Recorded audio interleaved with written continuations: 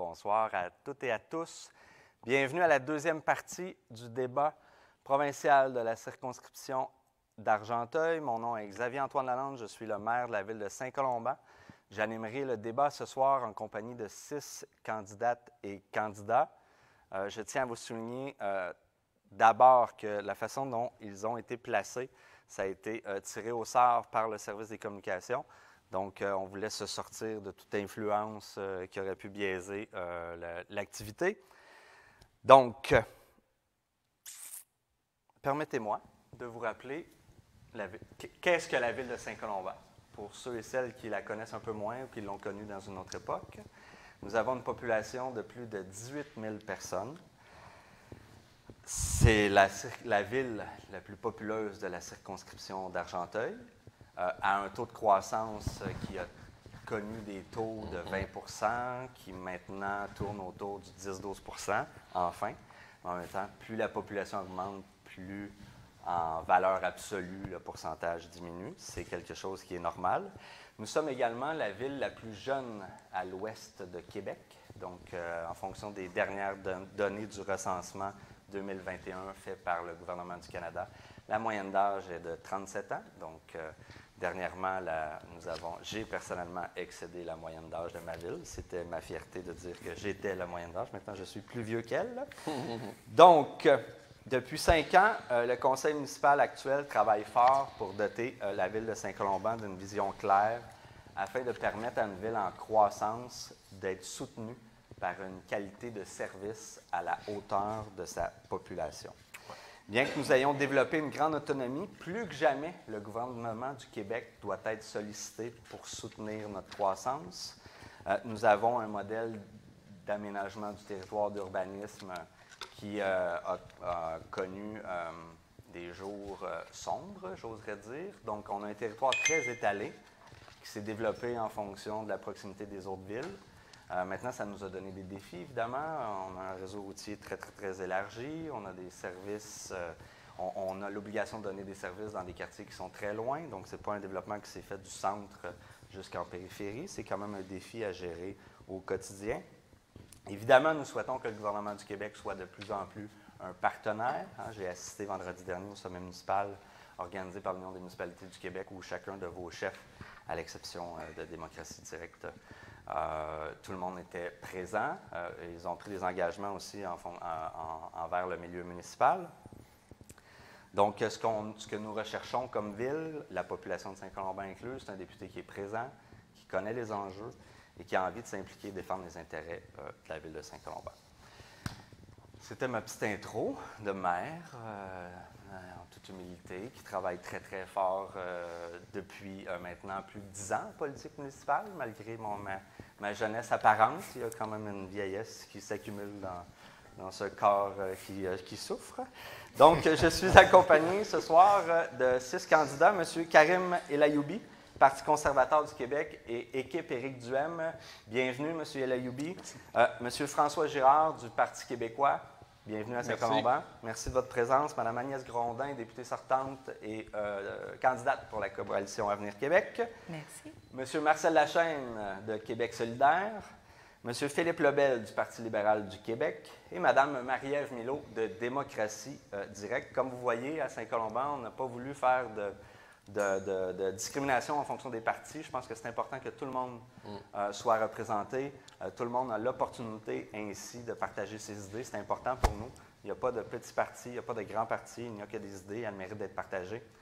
Donc, euh, ça met la table pour ce soir. Merci d'avoir accepté de participer à, à notre débat. C'est le deuxième débat provincial que la Ville de Saint-Colomban organise. C'est un important exercice démocratique auquel vous vous soumettez. Euh, le porte-à-porte, il est difficile à faire à Saint-Colomban pour ceux qui connaissent le territoire. Ça prend des heures et des heures. Heureusement, nous avons été euh, en partie épargnés lors de la dernière élection municipale. Mais c'est tout un exercice de prendre le temps de rencontrer les gens à leur porte. Il y a beaucoup de gens qui ont des choses à dire. Donc, c'est euh, la moindre des choses pour la ville de Saint-Colomban de vous donner l'opportunité de vous adresser à plus d'une personne à la fois. C'est une belle opportunité. J'espère que vous saurez en soutirer les avantages et qu'on euh, que vous nous amenez à, vous connaître davantage. OK? mon travail ce soir, c'est de vous faire sortir de vos lignes de parti. Ce qui nous intéresse, c'est qui vous êtes comme personne, comment vous défendez vos idées, euh, comment vous interagissez, puis comment vous, euh, vous, répondez un petit peu à la pression, puis aux sous-questions, puis aux défis que je vais vous poser ce soir. Donc, nous aborderons ce soir les thèmes suivants l'aménagement et l'urbanisme, le rôle et la fonction de la députation, le poids politique des Laurentides et des villes au sein du gouvernement, le développement économique et les changements climatiques. Vous avez reçu les questions hier, donc vous avez eu pratiquement 24 heures pour vous préparer. Donc, j'espère que cette préparation a été euh, amusante. Nous, ça nous amuse toujours de penser à vous quand vous, quand vous envoie nos questions. Donc, il y aura neuf questions ce soir auxquelles les candidats seront invités à répondre. Après chaque bloc, lorsque tous les candidats vous, vous serez exprimés, vous aurez des droits de réplique de 45 secondes.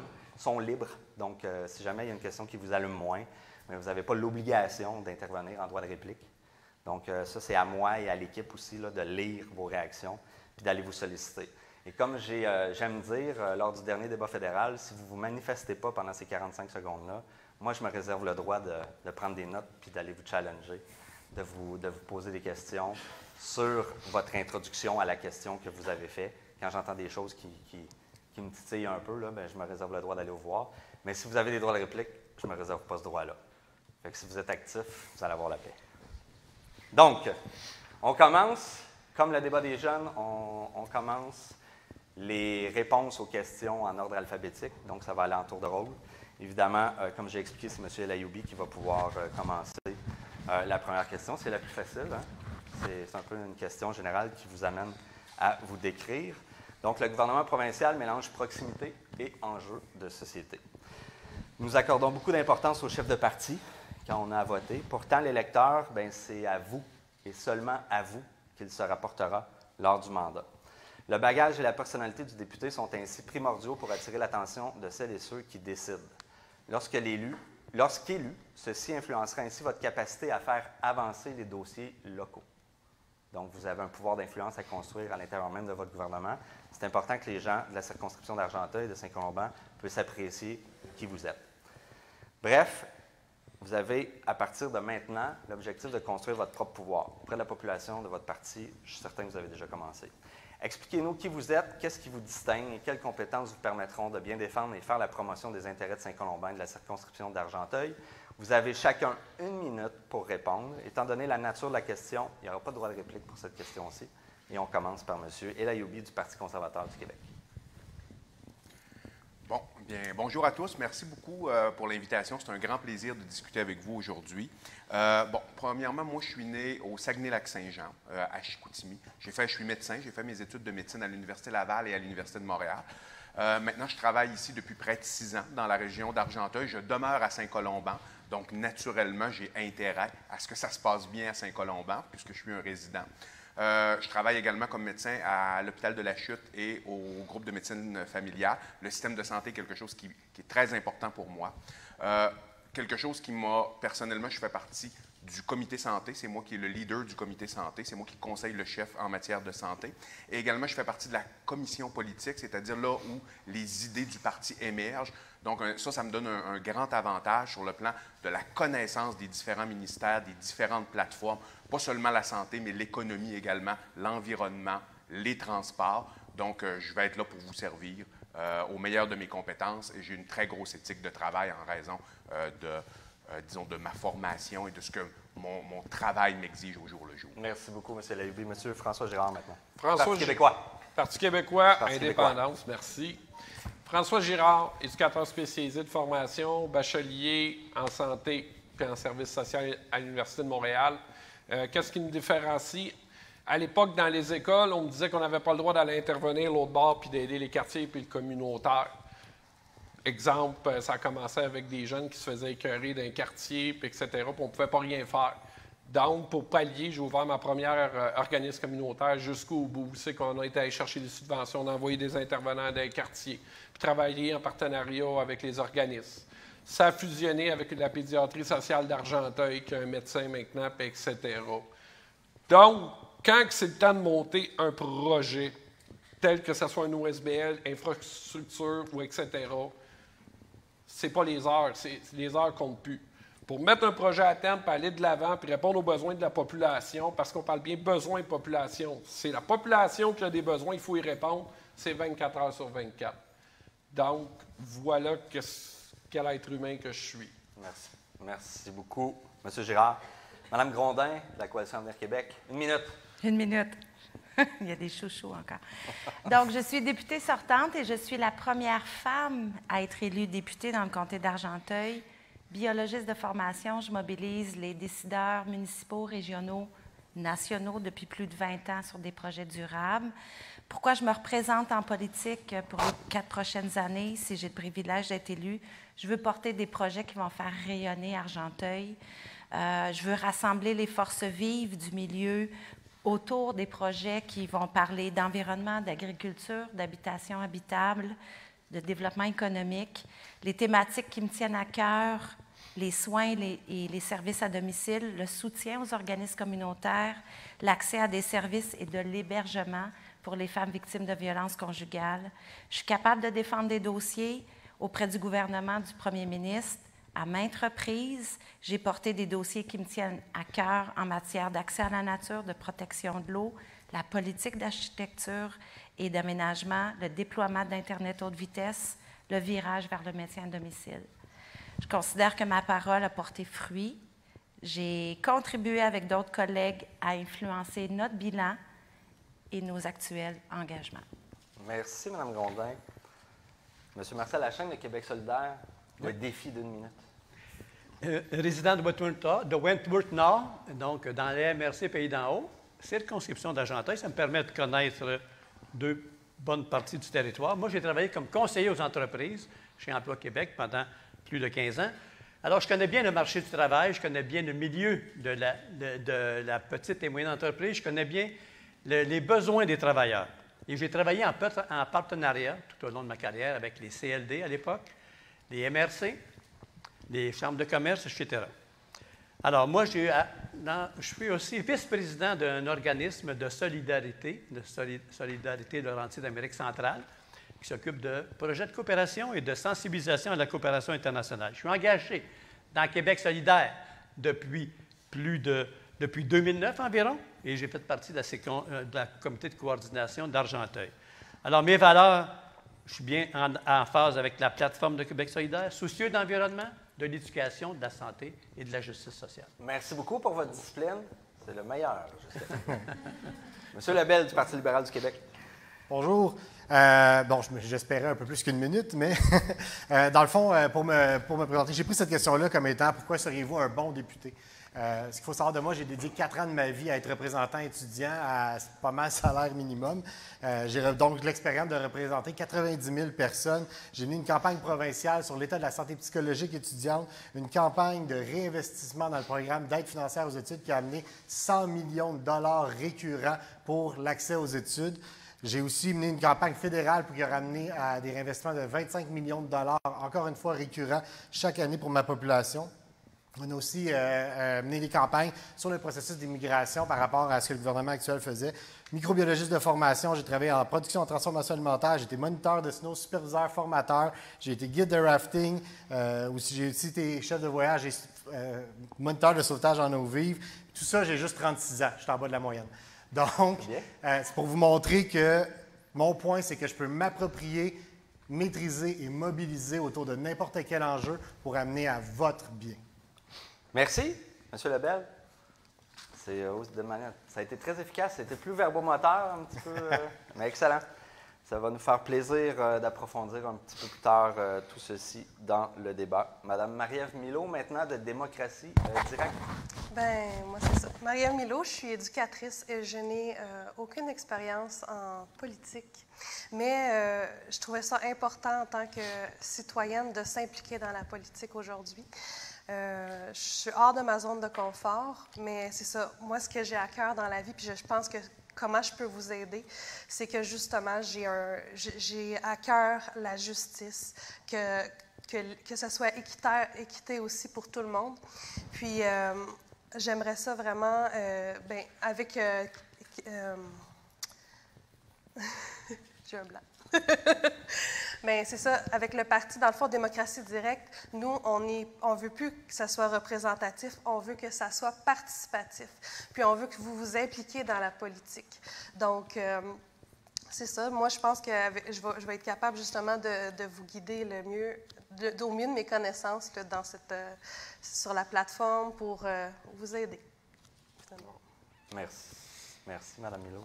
Donc, on a brisé la glace. Oui. On va rentrer dans les enjeux un petit peu plus euh, en tout cas pour moi, j'espère pour vous aussi. Donc, euh, la deuxième question. Comme je l'ai dit plus tôt, euh, vendredi dernier, j'ai eu euh, l'opportunité d'assister au sommet municipal en compagnie de vos chefs respectifs. Vos différents partis ont pu mettre de l'avant les engagements un petit peu plus précis prévus pour les villes et les municipalités. Comme vous le savez, un des grands rôles des municipalités repose sur leurs compétences en aménagement du territoire et en urbanisme. Euh, la, la, ville de Saint-Colomban est aux frontières de la communauté métropolitaine de Montréal. Donc, on regarde ça euh, du haut de notre tour et on voit l'envahisseur, euh, des fois, au loin arriver. Donc, le gouvernement a déposé plus tôt cette année la politique nationale en aménagement et en, et en architecture du territoire.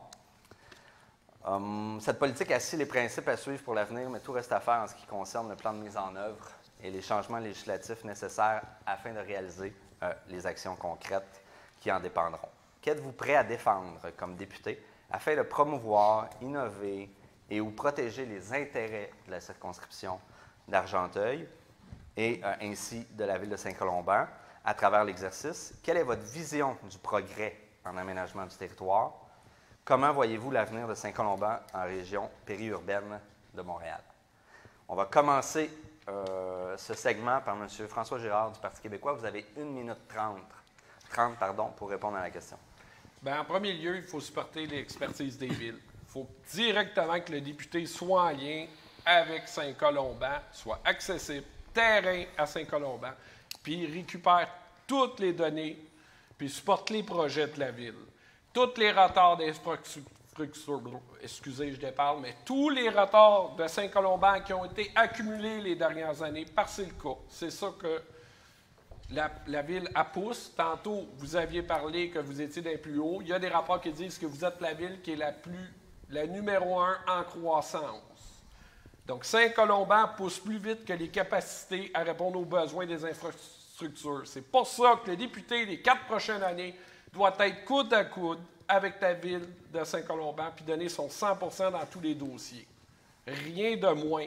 Puis surtout avec ce qui se passe avec la couronne nord de Montréal, c'est 30 à 40% encore de valeur immobilière qui a monté, puis il y a déjà des études qui s'en viennent qui disent que les gens vont pouvoir avoir un plus gros montant pour leur maison, puis aussi qui s'en viennent, c'est sur la couronne nord. Donc Saint-Colomban n'a pas fini d'avoir la pression d'une population qui s'en vient.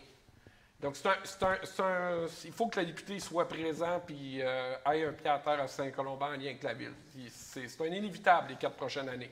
Merci, M. Girard. Mme Agnès Grondin, maintenant députée sortante de la Coalition Avenir, du Québec, Coalition Avenir Québec. Pardon. Merci, M. le maire. Euh, c'est une question clé, à mon avis. Euh, moi, j'ai été ancienne conseillère en environnement dans une MRC.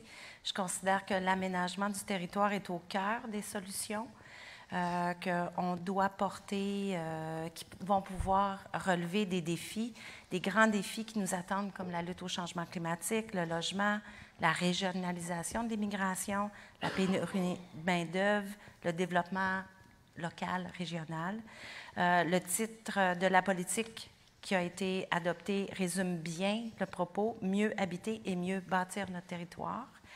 Euh, à mes yeux, le milieu municipal, c'est un gouvernement de proximité, c'est des experts terrain, c'est des acteurs clés dans la mise en œuvre de solutions, comme je l'ai dit, pour lutter contre les changements climatiques. Comme élus municipaux, vous êtes bien placés pour connaître les rêves et les projets des citoyens. Euh, Argenteuil a 17 municipalités, 14 d'entre elles ont moins de 5 000 habitants. Donc, il y a des défis pour la ruralité. On parle ici de vitaliser les noyaux villageois. On parle aussi de de se tourner vers le maintien à domicile parce que la population est vieillissante. Mais il y a trois autres villes qui ont des populations plus importantes.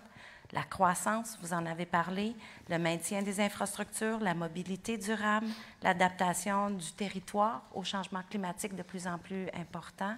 Donc, Saint-Colomban, la cinquième ville la plus jeune du Québec, peut-être, me dit-on. Euh, j'ajoute que toute la question de la famille est aussi importante. Euh, l'accessibilité à des infrastructures sportives, la vitalité du noyau urbain, la gestion de la congestion, puis l'accès à des services de garde, ça va être des dossiers qu'il faut falloir euh, porter. Merci. Et défendre. Merci beaucoup. Il va y avoir des questions un petit peu plus loin là-dessus. Monsieur Marcel Lachaine, à Québec solidaire maintenant. Oui. Bien, si on parle d'aménagement du territoire, il faut regarder ce que Saint-Colomban a fait au niveau de, de son plan d'action pour les changements climatiques. Dans, cette, dans ce plan-là, que, dont je félicite Saint-Colomban et ses citoyens, on retrouve beaucoup d'actions qui concerne la gestion, l'aménagement du territoire. Ne serait-ce que la gestion des matières résiduelles, on pense à une consommation locale et, euh, responsable. Il y a un, plan d'action, un plan directeur pour l'eau et les bassins versants. Puis on, voit Saint-Colomban, quand on pense à Saint-Colomban, on dit qu'il faut, euh, faut revoir notre façon de produire, de consommer et de disposer. Alors, c'est tout des. Moi, c'est un modèle qui devrait être exporté dans d'autres municipalités. Puis c'est très c'est très en phase avec le programme de Québec solidaire. Alors, il faut évidemment, dans, un plan d'aménagement, protéger les boisés, protéger notre eau potable en ayant une réglementation sur l'utilisation des, ressources. Il faut promouvoir et bonifier le, transport collectif. Il y en a du transport collectif ici. Il faut favoriser une, mobilisation active et durable.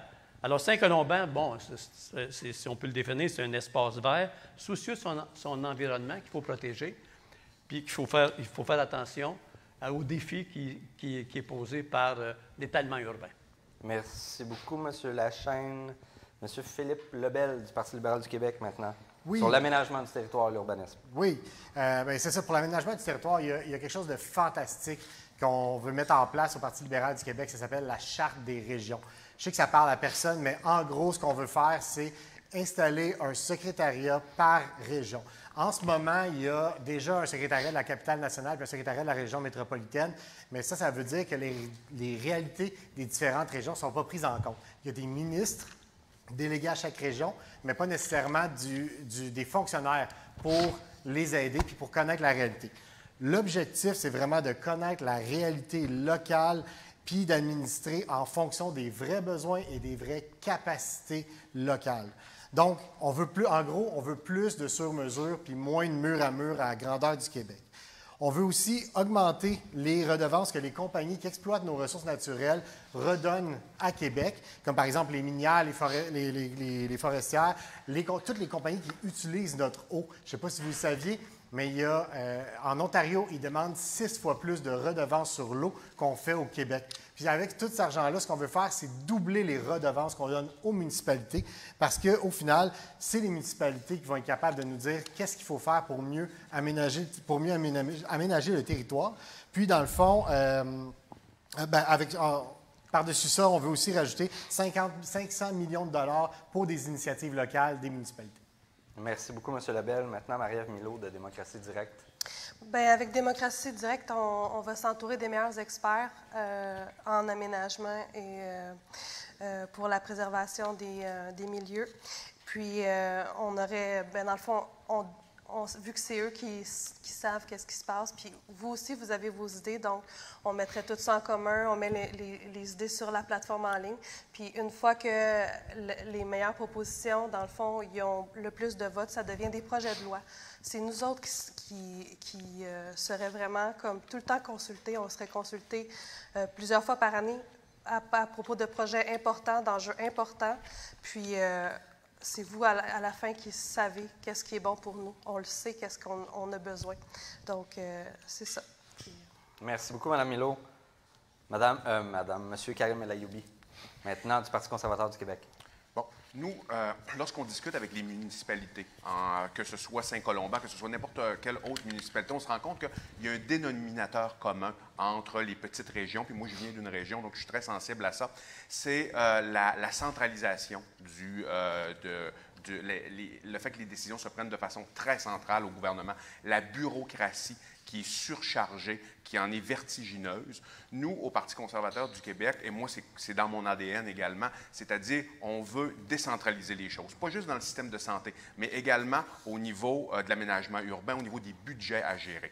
Donc, nous, ce qu'on s'engage à faire, ce sera de lancer un vaste chantier de révision de la réglementation. Qu'est-ce que ça veut dire? Ça, ça a été fait en Alberta. Non seulement ça a, ça a augmenté leur PIB de façon significative, il y a eu des redevances économiques très importantes, mais ça, ça fait en sorte qu'on élimine beaucoup de couches bureaucratiques entre le, les communautés, les, régions, les municipalités et là où les décisions se prennent euh, au sein des différents ministères. Nous, on s'engage à faire ça et le rôle du député, euh, c'est certain que, en termes, peu importe en termes quoi, que ce soit en termes santé, en termes aménagement urbain, c'est de prendre le pouls des municipalités, c'est de prendre le pouls des gens sur le terrain et d'amener cette voix-là à l'Assemblée nationale. Ça, c'est le plus important, c'est que votre voix, la voix, notre voix, la voix des municipalités, se doit de se transférer à l'Assemblée nationale. Puis moi, je m'engage à faire ça.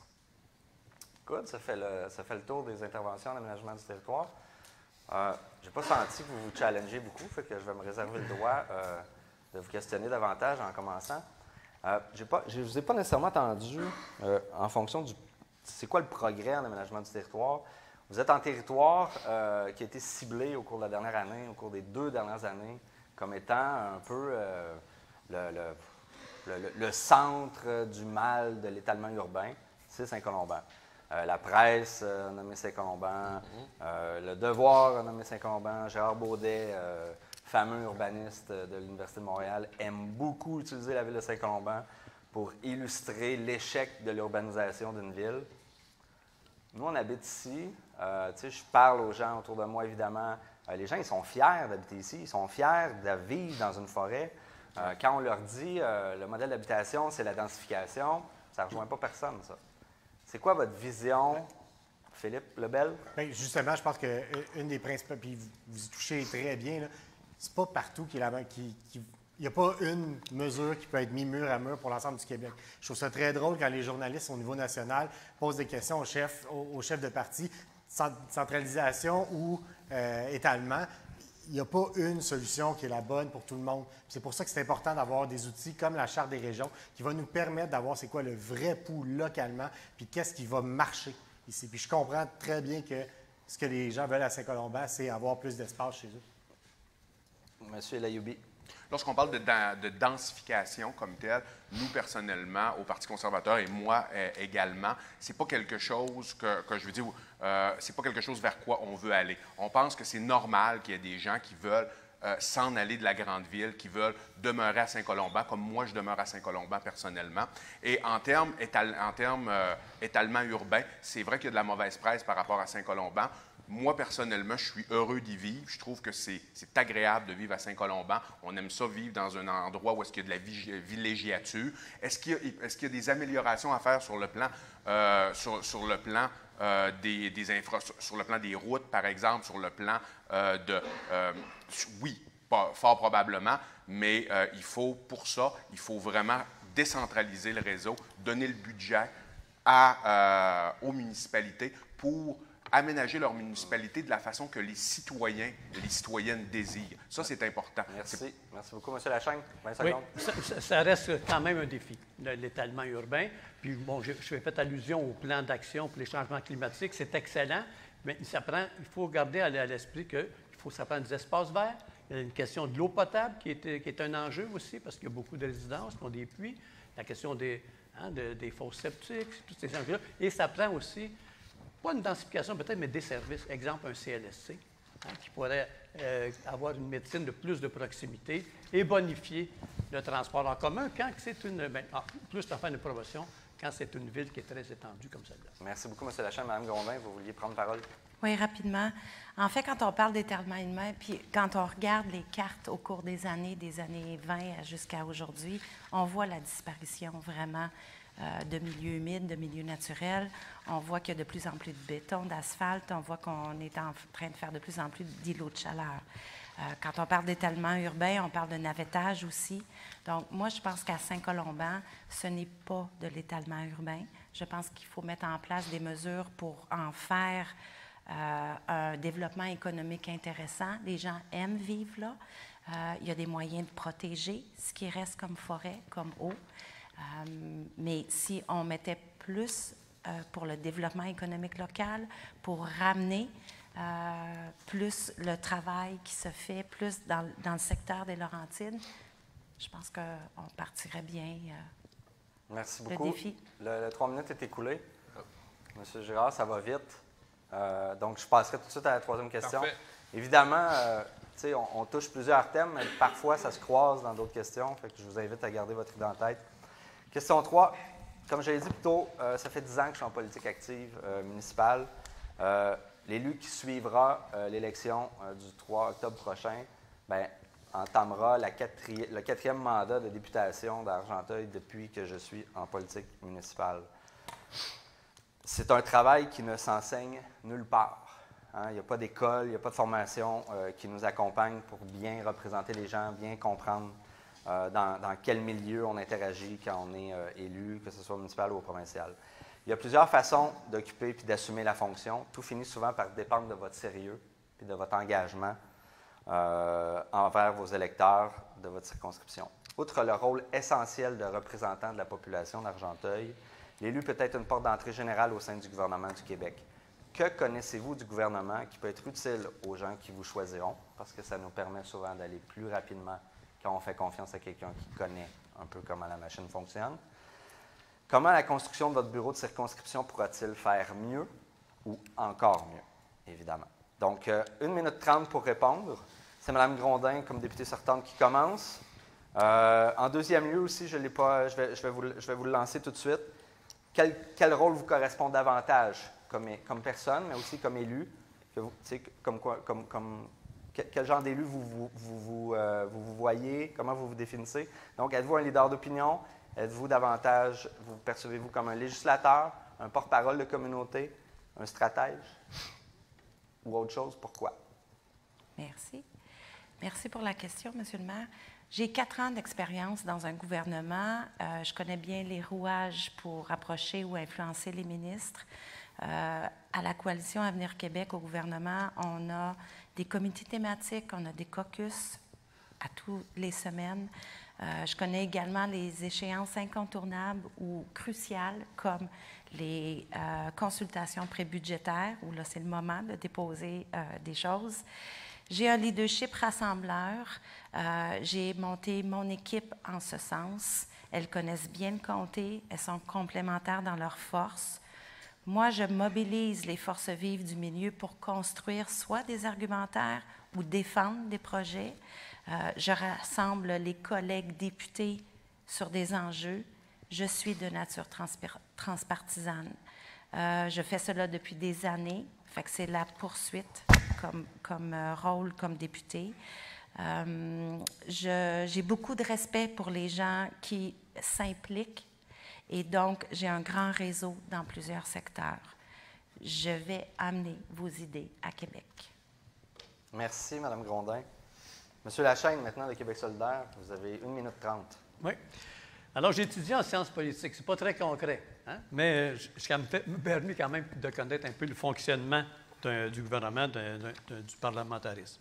Mais sur la, question, cette question-là, de qu'est-ce qu'on connaît du gouvernement, moi, j'ai travaillé avec des partenaires, comme je disais tantôt. J'ai travaillé comme conseiller aux entreprises Emploi Québec, avec les municipalités, des MRC, des CLD, des chambres de commerce et, euh, et des promoteurs à l'occasion. Alors, j'ai travaillé avec euh, des gens qui étaient au niveau de la décentralisation et on en parlera tantôt.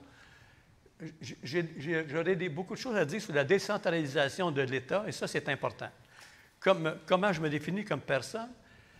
Comme personne, comme quelqu'un qui va être sensible aux préoccupations du milieu, comme par exemple quand on parle du coût de la vie, il faut être sensible à ces questions-là puis proposer des choses.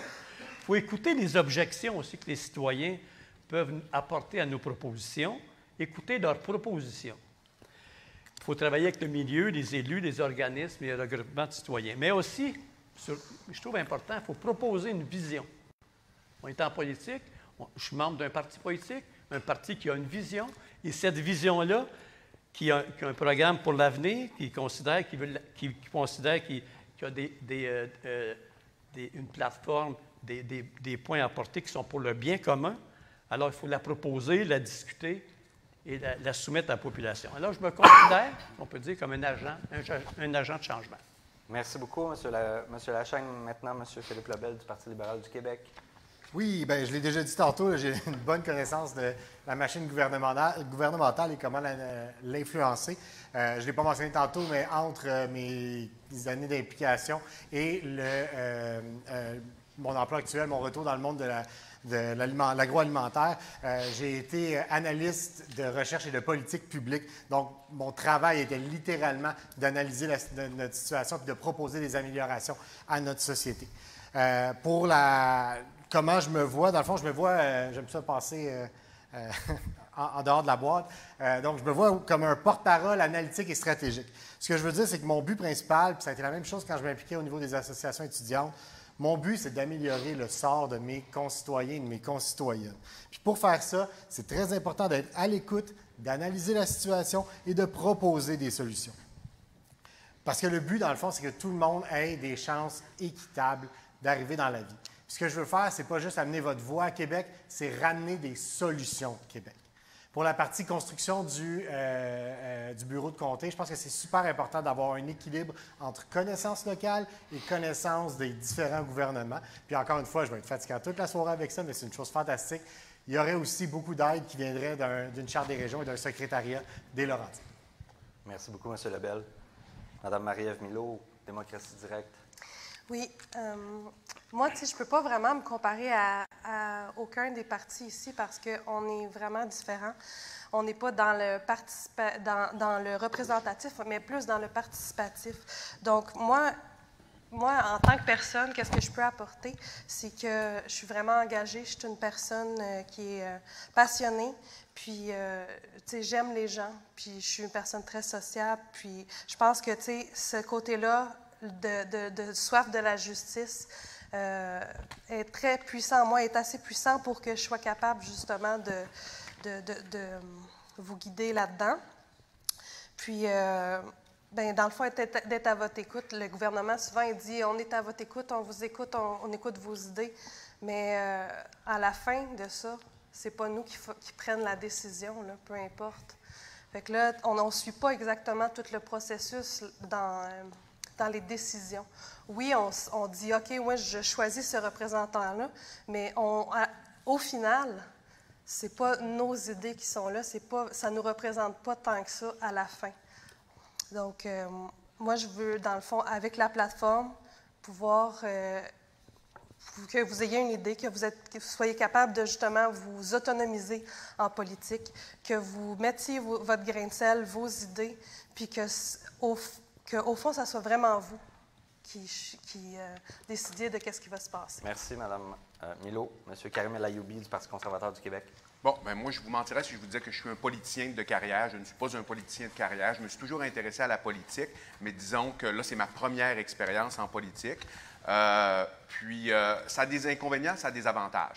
L'avantage, c'est un peu le, concept de la transpartisanerie, c'est-à-dire que moi, si je ne suis pas habitué à tout ce qu'on appelle la joute politique, s'il y a des gens de d'autres partis qui ont des bonnes idées, si d'autres députés, si d'autres législateurs à, l'Assemblée nationale ont de bonnes idées, ça ne, serait pas un problème pour moi de les, euh, de les soutenir.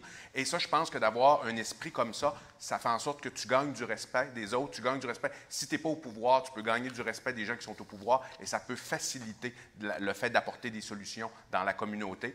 Par contre, j'ai quand même une très bonne connaissance de comment le, les différents ministères fonctionnent parce que euh, rôle, j'ai eu un rôle de leadership qui était quand même assez important au sein du parti.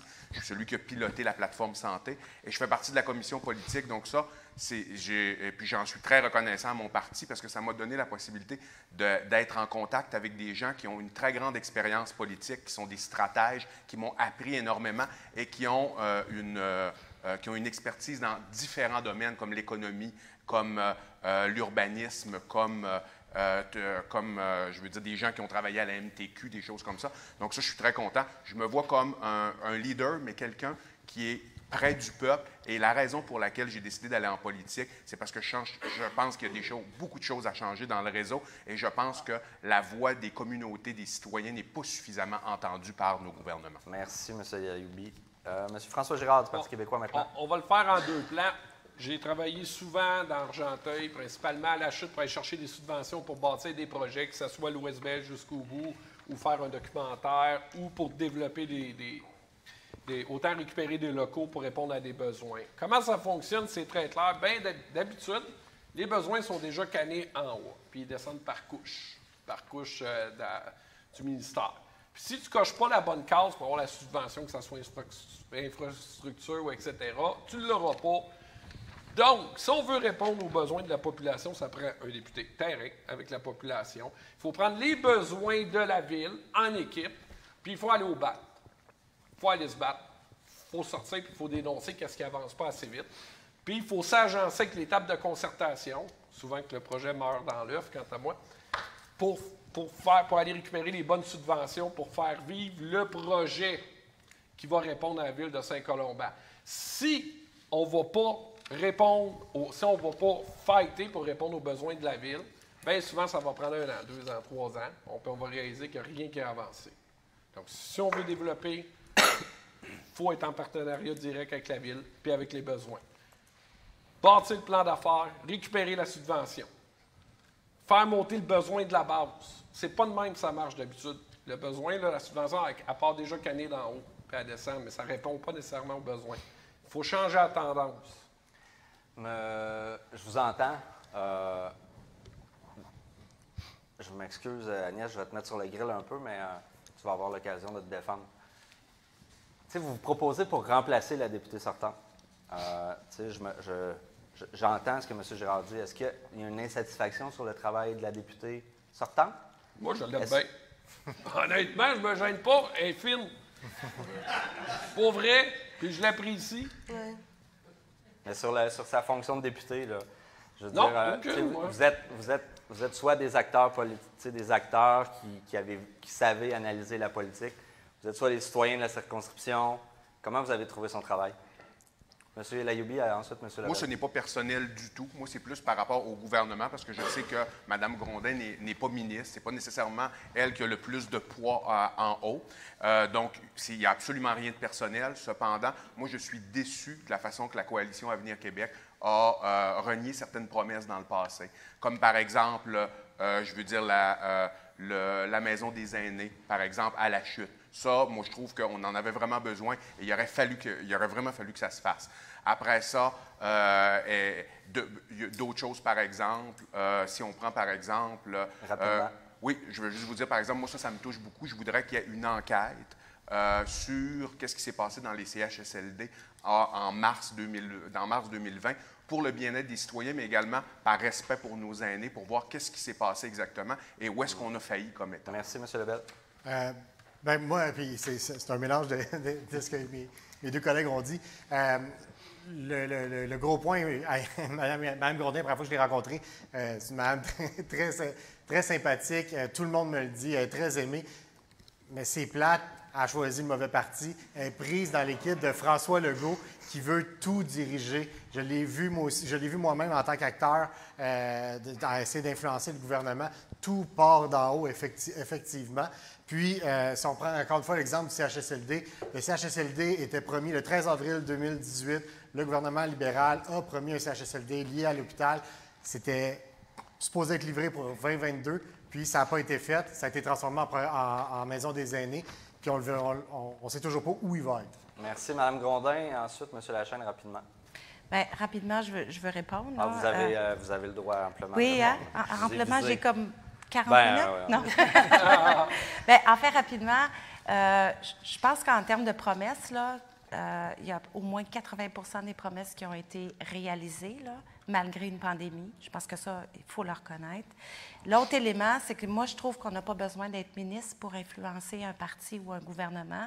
La preuve, c'est que depuis quatre ans, je travaille à convaincre la Coalition Avenir Québec, avec d'autres collègues évidemment, c'est pas juste moi, mais de l'importance de l'environnement, de la nature et de l'eau. Et là, dans les engagements pour les quatre prochaines années, c'est un milliard de dollars qui va être investi pour ça, pour des actions citoyennes. Donc, on écoute le monde. Monsieur Lachaine? Oui, Mme Grondin a un, excellent CV. Là, fondée à Brinard, cofondatrice, travaillé au, niveau de l'environnement pour la MRC. Mais je trouve que, étant à la CAQ, je trouve qu'à la CAQ, le, plan pour le changement climatique est vraiment peu ambitieux. c'est, euh, bon, ils veulent atteindre 30, on va avoir de la misère à atteindre 37% de moins de gaz à effet de serre en, 2030. Et leurs mesures sont chiffrées à moitié. Est-ce qu'ils vont y arriver? Comment ils vont y arriver? On ne sait pas trop. ça, je trouve vraiment une faiblesse au niveau du parti. Merci beaucoup. Ça nous amène à la question 4. Ça va vite, mais en même temps, le débat, il dure deux heures. Hein. Donc, euh, je n'ai pas le choix de restreindre, sinon on dormirait ici. Puis, malheureusement, je suis certain que ça ne vous tente pas de dormir ici. Donc, depuis trop de décennies, là, on rentre dans mon dada un petit peu euh, de la dernière année, le poids politique des Laurentides n'est pas à la hauteur de sa croissance démographique. Alors que Québec, Montréal et les régions ressources reçoivent une attention particulière, la région des Laurentides figure souvent bonne dernière dans plusieurs catégories d'investissements gouvernementaux, que ce soit en santé, en transport, en éducation, en développement économique, en services de garde et même en tourisme. Les, Laurentides ramassent les miettes au lieu d'être un haut lieu d'intérêt pour le gouvernement. Pouvez-vous nous, nous, partager des actions concrètes que vous et votre parti comptez prendre pour renverser cette tendance? Faites attention, renverser la tendance, ça ne veut pas dire d'augmenter les investissements au même rythme que les autres régions. C'est renverser la tendance. Voici un exemple probant, bien que nous soyons la ville la plus jeune du nord de Montréal et que nous comptions plus de 1300 enfants âgés entre 0 et 4 ans. Selon, selon Recensement Canada, le ministère de la Famille vient de refuser sans raison apparente la possibilité de construire un centre de petite enfance alors que nous n'avons que 5 milieux de garde structurés, euh, ce qui couvre environ là, 300 places. Donc, il y a ainsi 1000 enfants hors CPE qui reçoivent autre chose, sinon rien comme service. Comment changer cette dynamique? Quelle serait votre stratégie régionale comme député? Autre exemple, une simple intersection sur la seule rue appartenant au MTQ servant 12, 000 véhicules par jour, la montée de l'Église. Euh, appuyé par un rapport du coroner depuis bientôt cinq ans, nécessite 15 ans de planification minimum avant d'être réalisé. Dois-je mentionner le troisième lien, où l'idée sortie de nulle part de couvrir l'autoroute 25, alors qu'aucun acteur politique en aurait fait la demande, qui a été annoncé la semaine passée dans le quartier d'Anjou. Donc, ce que je veux dire, c'est qu'il y a des projets qui, émergent un peu partout au Québec. Alors, on a appris cette semaine que le troisième lien, c'est une décision politique. Euh, que ce soit un pont aussi sur l'île d'Orléans, c'est une décision politique. Recouvrir l'autoroute 25, ça, c'est une décision administrative. Comme quoi, il y a des fonctionnaires dans certaines directions régionales du ministère des Transports qui ont le temps de penser à des projets, alors que nous, on a des projets, puis ça prend 15 ans à les réaliser. Ça, c'est la réalité. Demain matin, j'ai une rencontre à Québec où je rencontre les sous-ministres euh, du ministère des Transports, les hauts sous-ministres. Je pars après le débat pour Québec. Donc, moi, là, mon objectif demain, en compagnie d'autres préfets, évidemment, c'est de dire comment on renverse cette tendance-là pour le MTQ. Moi, je veux savoir, comme député, comment vous allez appuyer les démarches à la fois de la ville de Saint-Colomban. Je n'ai pas souligné aussi dans la salle la présence du maire de la Chute, M. Bernard Bigradoni, mais d'un maire comme la ville de la Chute, qui est, à mon avis, en déficit d'investissement d'infrastructure aussi dans ta ville, euh, c'est partout pareil dans les Laurentides. Donc, je pourrais cibler les hôpitaux. Euh, on connaît tous le travail de la Coalition Santé Laurentide. Donc, vous avez 2 minutes 30 pour répondre à ça. Évidemment, euh, moi, je cumule le temps. Si vous ne prenez pas le 2 minutes 30, je pense que c'est un, dossier qui est assez chargé. je, vais, gérer les droits de réplique en fonction du temps qu'on est capable d'accumuler. On va commencer avec M. Marcel Lachaine de Québec solidaire et on va suivre avec M. Lebel ensuite. Alors, effectivement, dans la région de Laurentides, il y a eu une croissance démographique importante les dernières années. Puis, euh, si on veut renverser la tendance par rapport aux problématiques que vous avez soulevées, puis des services qu'on n'a pas, exemple l'Hôtel-Dieu de l'hôpital, pas l'Hôtel-Dieu Saint-Jérôme, alors nous, on propose qu'il y ait une décentralisation. Vous avez parlé de difficultés que vous avez à, de décisions politiques qui sont prises, on ne sait pas trop comment. Nous, on propose qu'il y ait des instances régionales de gouvernance. On a déjà connu dans le passé au Québec des conseils régionaux de développement les, conseils régionaux des élus, qui, auraient peut-être pu avoir plus de pouvoir et de budget. Mais nous, on propose que dans ces instances régionales de gouvernance-là, qu'il y ait un nouveau pacte avec les régions, dont, qui, actuellement qui est de 1,2 milliard, qui s'est bonifié de 240, 240 millions, mais une, instance euh, euh, régionale de gouvernance où les municipalités et les MRC aurait évidemment un rôle de premier point. Au sein de ces instances régionales de gouvernance, on, proposerait qu'il y ait un pacte d'équité territoriale faire en sorte de réduire les inégalités qu'on retrouve au, niveau des services et des structures sur les différents territoires du Québec et, même dans les MRC. Ah, ah, on sait qu'il y a des régions hein, qui sont excentrées au, Québec, et même dans les MRC, il y a des, MRC qui ont beaucoup moins d'argent que d'autres. Il y a un impact d'équité territoriale. Deuxièmement, décentraliser à l'échelle régionale des budgets et, pour la gestion de, certains services publics. Décentraliser au niveau de l'habitation, du tourisme, du logement, de l'environnement, du transport collectif, que ce soit vraiment euh, des services de garde. Il y a beaucoup de, problèmes qui pourraient être résolus par une gouvernance régionale. Et doubler pour chacune des municipalités des enveloppes qui sont prévues pour le soutien à la vitalisation des milieux. On parle hein, pour, euh, au niveau de, l'environnement, mais de places publiques, etc.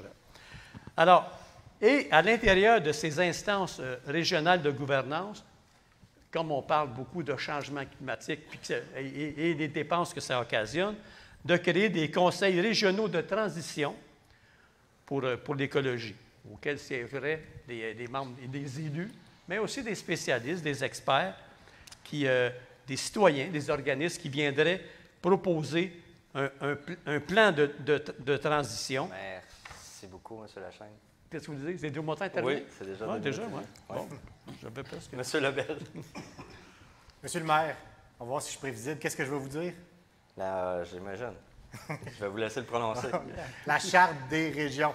C'est une initiative qui est fantastique, comme je ne vais pas arrêter de le dire, euh, parce que justement, ça nous permet d'avoir une voix. Les Laurentides sont les, ben, les Laurentides est la quatrième région administrative la plus populeuse au Québec, puis le financement n'a pas suivi. Je le comprends que les gens sont revenus ici. Je suis le premier, je suis un petit gars des Laurentides. J'ai grandi à Sainte-Thérèse, j'ai vécu à Prévost, à Saint-Adèle, à Saint-Jérôme, maintenant à Brownsburg-Chatham. J'ai toujours voulu revenir ici, puis je comprends que les gens ont fait de, même. Avec la pandémie, ça s'est accéléré, mais on comprend, il faut juste que le gouvernement puisse suivre ensuite. On a parlé euh, de la coalition Santé Laurentide. Quand la coalition Santé Laurentide est venue à Québec, il y a une organisation politique qui s'est levée et qui a dit oui, on les appuie, c'est le Parti libéral du Québec. Il faut redonner, puis effectivement renverser la tendance et redonner plus d'argent euh, aux Laurentides dans, le système de, dans le système de santé pour qu'on puisse servir les soins, parce que non seulement on est la quatrième la plus populeuse, mais on a tellement un, bon potentiel récréo-touristique qu'on a énormément de gens qui viennent dans les Laurentides. Puis ça, c'est des gens aussi qu'il faut être capable de desservir avec nos services, puis avec nos, euh, euh, nos hôpitaux et ben, nos, nos, services de santé en général. Côté... Côté immigration, ça va être super important. On n'arrête pas à parler. Toutes les parties sortent un chiffre de 70, 50, 35 000. Qu'est-ce qu'il faut? Qu'est-ce qu'on est capable?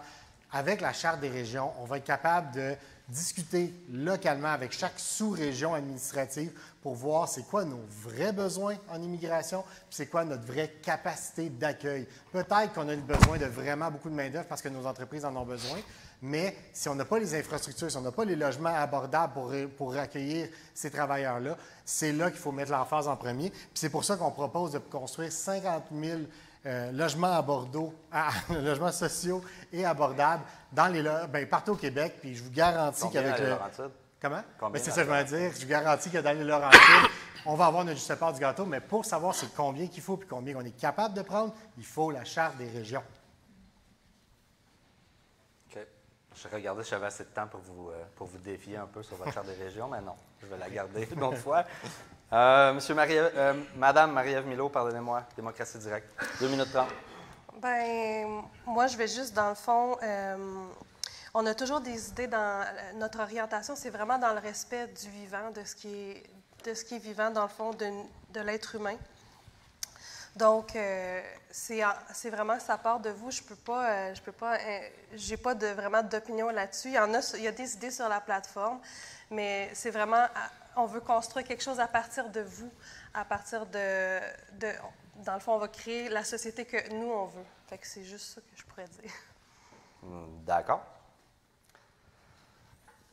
Monsieur Karim El Ayoubi, maintenant du Parti conservateur du Québec, le premier Laurentide dans votre gouvernement. Bien, écoutez, nous, euh, au niveau de. On se rend compte qu'il y a vraiment une inéquité euh, au niveau des Laurentides. Puis moi, je le vois très bien, là, surtout dans le domaine de la santé. C'est partout, mais dans le domaine de la santé, on le voit, on le voit particulièrement.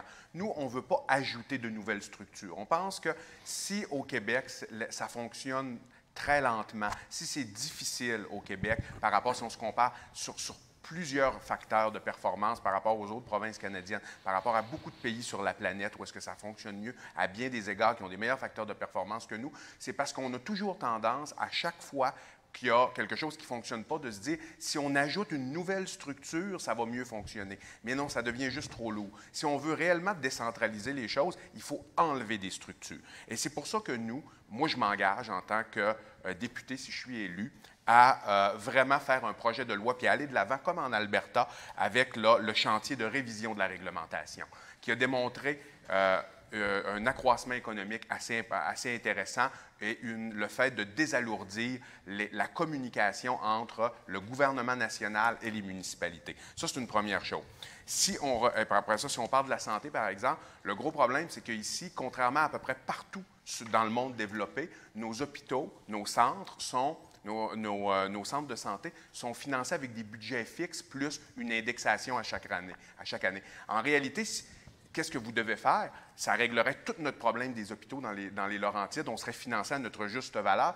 Il serait, le, mode de financement serait à l'activité patient, c'est-à-dire plus il y a de patients qui sont soignés, plus ils sont vulnérables, plus il y a de financement, et on laisse les municipalités, les hôpitaux gérer leur budget et faire en sorte que euh, de faire en sorte que s'ils veulent rénover, ils peuvent. S'ils veulent engager du nouveau personnel, ils le peuvent. Ils ne sont pas obligés d'attendre après les décisions gouvernementales. Ça fonctionne comme ça dans à peu près tout le, monde développé. Et autre chose, on parlait des services de garde, qui sont quand même très importants. Nous, ce qu'on propose, ce n'est pas d'annuler les CPE du tout. Les CPE, on veut qu'ils demeurent, mais c'est de donner 200 dollars par enfant en âge d'être gardé. Euh, imposable pour faire en sorte que ceux qui n'ont pas de place en CPA, ils puissent en trouver une au privé. Et de cette façon-là, il va y avoir une équitabilité, une équité à, la grandeur de la province. Dernier point ici. Vous envoyez un chèque. Vous envoyez un chèque par la poste. Euh, c'est un, crédit, en réalité. C'est un crédit, c'est un crédit, c'est un crédit d'impôt, autrement dit.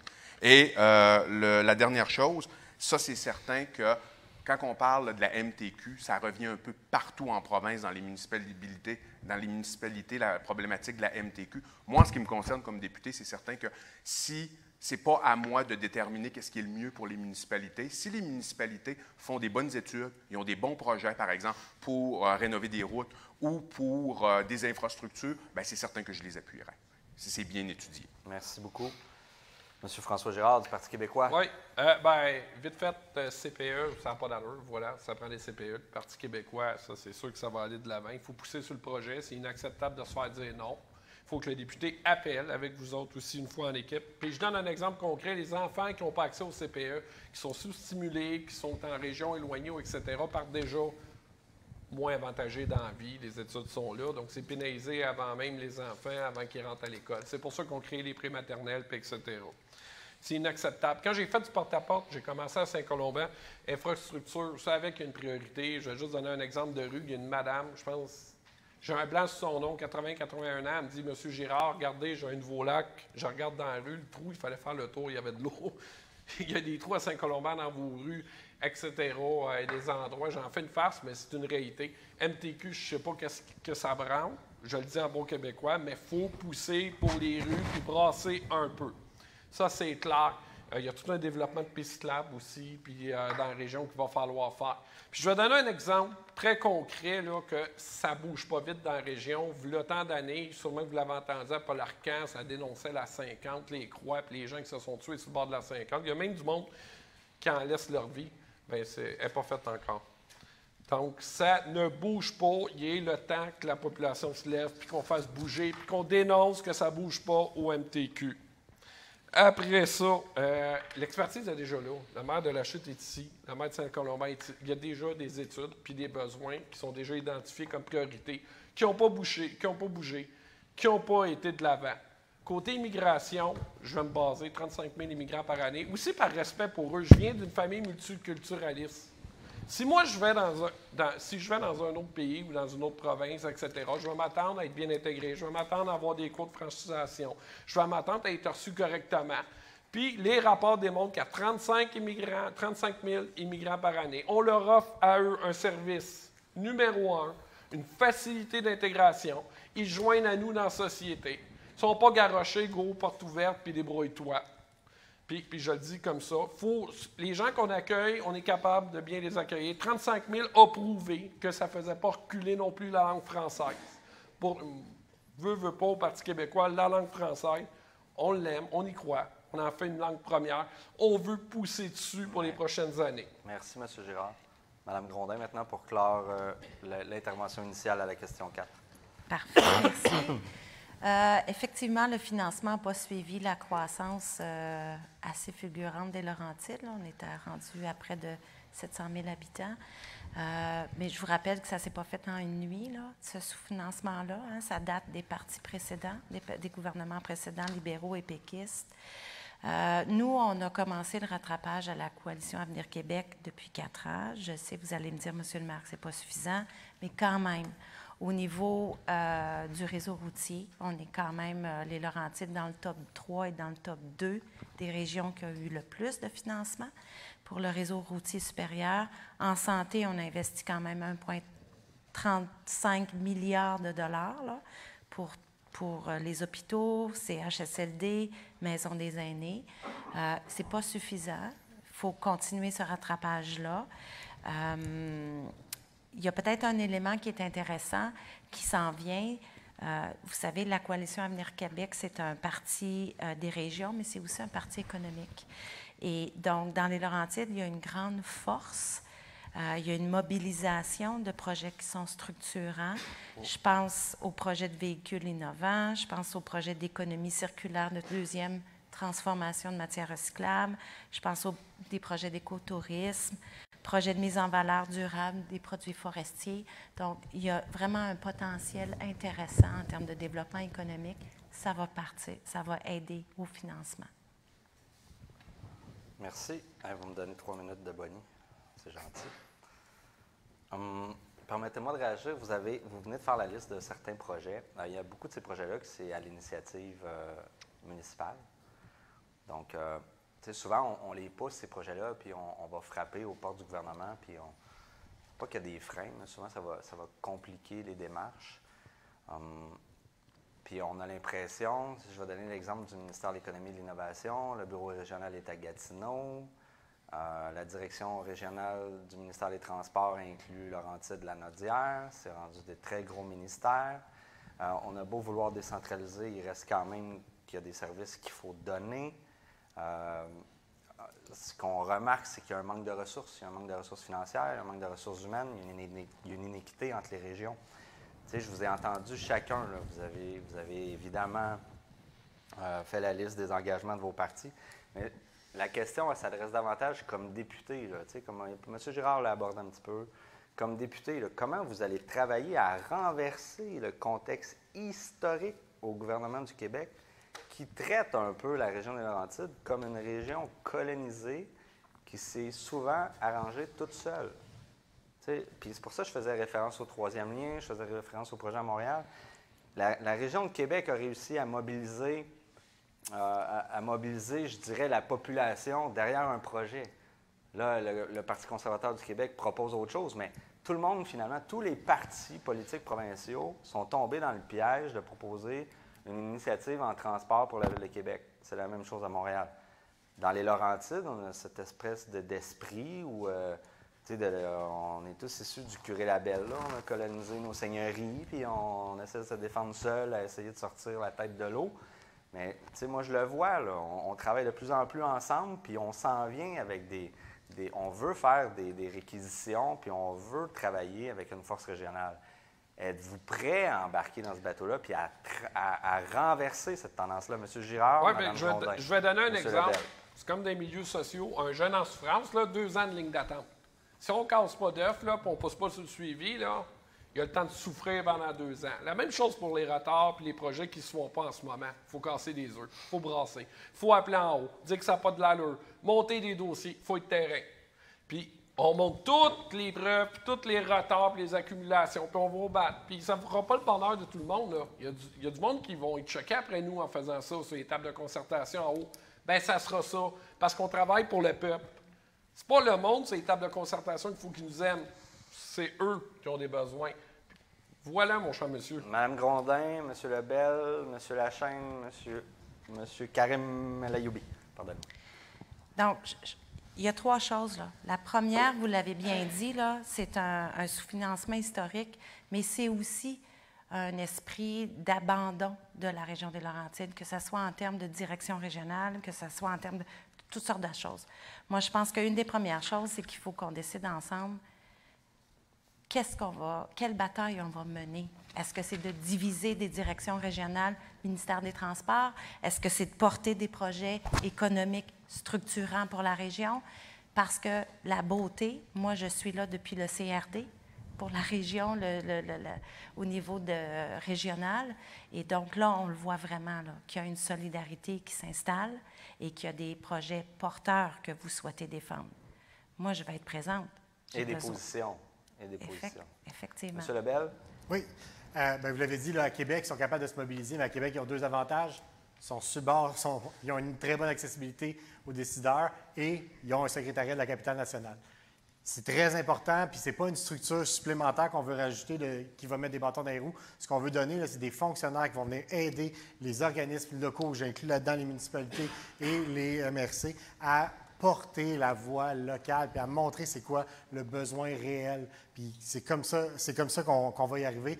Côté, euh, je prends le- l'exemple du troisième lien. On, va, on a très bientôt euh, un communiqué qui s'en vient par rapport à la mobilité dans les Laurentides, puis surtout par rapport à la mobilité durable. Monsieur Lachaine et Monsieur Layoubi en conclusion. Oui, bien, j'ai mis sur la table de- d'avoir. Si on veut euh, hein, décider ensemble, si on veut que notre voix soit entendue, mais ça prend une structure. Ça, j'ai mis sur la table tantôt ben, la, proposition de Québec solidaire d'une instance régionale de gouvernance où les, les, euh, ce lieu-là qui serait à décentraliser à, l'é- à l'échelle régionale avec des budgets et des pouvoirs. Ça, c'est un, un gros changement quand même. Avec, vous parlez, tout ce que vous parlé par rapport aux routes, aux services de garde. Il y, a, il y a plein de pouvoirs qui pourraient être pris en charge par les régions, par les municipalités. Et euh, c'est pas, en tout cas, pour, par rapport à M. Yaloubi, c'est pas en baissant les impôts, en ayant moins de services, puis euh, en revisant la réglementation, puis euh, arriver dans le Far West, qu'on va trouver des solutions. Monsieur Layoubi. Monsieur oui. Bien, je- écoutez, écoutez, c'est- écoutez, si, le, euh, si le, les- le- le fait d'augmenter les impôts puis les taxes, comme vous voulez faire à Québec solidaire, c'était ça la solution, on le saurait déjà au Québec, hein, parce qu'on est parmi les plus taxés au monde et euh, on n'a pas les services qui viennent avec du tout. Donc, je pense que la solution, il y a tout à fait, euh, est plus haut, mais regardez les courbes un peu, là, monsieur. Lorsque, euh, lorsque, à un moment donné, il y a une limite à la taxation. Si on continue à trop taxer, ça devient ineffi- inefficient, in- inefficace et on n'aide pas du tout les citoyens en faisant ça. Ça, c'est, très, très clair. Je pense que de redonner plus d'argent dans les poches des Québécois, des Québécoises, particulièrement les plus démunis et la, et la classe moyenne, ça encouragerait l'entrepreneuriat, ça stimulerait l'économie. Donc, je suis en total désaccord avec ce que vous venez de dire. Et euh, là, il me reste du temps? Ah, il vous reste 10 secondes Il sur reste 10 votre secondes. plan d'action pour euh, mobiliser les Exactement. Laurentides Bon, exactement. Donc, moi, moi, ce que je parle, c'est, ben, je n'ai pas beaucoup de temps, donc je vais le dire très rapidement. C'est une des choses que je voulais dire, c'est qu'à un moment donné, il faut qu'il y ait une partisanerie des Laurentides. Et peu importe les députés de quel, con- de, de quel parti politique à l'intérieur des Laurentides, il faut s'asseoir ensemble et il faut bâtir des projets ensemble dans le but d'avoir une partisanerie, mais pour les Laurentides. Et pour ça, il faut sortir un peu là, de, euh, euh, du, vieux modèle de partisanerie politique. Merci beaucoup. Question à caractère économique maintenant. Euh, nous sommes plongés dans une réalité économique incertaine où plane une possibilité de récession jumelée à une pénurie de main-d'œuvre et un contexte de contrition au niveau des logements. C'est, à mon avis, du jamais vu. Alors que les taux se resserrent pour tout le monde au sujet des besoins de base, l'hypothèque, l'épicerie, le coût des matières premières. Québec annonce que le déficit prévu sera moins grand qu'annoncé. La réaction historique à une récession a- souvent été de stimuler euh, l'investissement dans des infrastructures publiques. hein. On met du monde à l'ouvrage pendant ce temps-là, il n'y a, pas de chômage, on injecte de l'argent public dans l'économie. Avec la pénurie de main-d'œuvre, difficile de croire que la solution s'appliquera en bonne et due forme.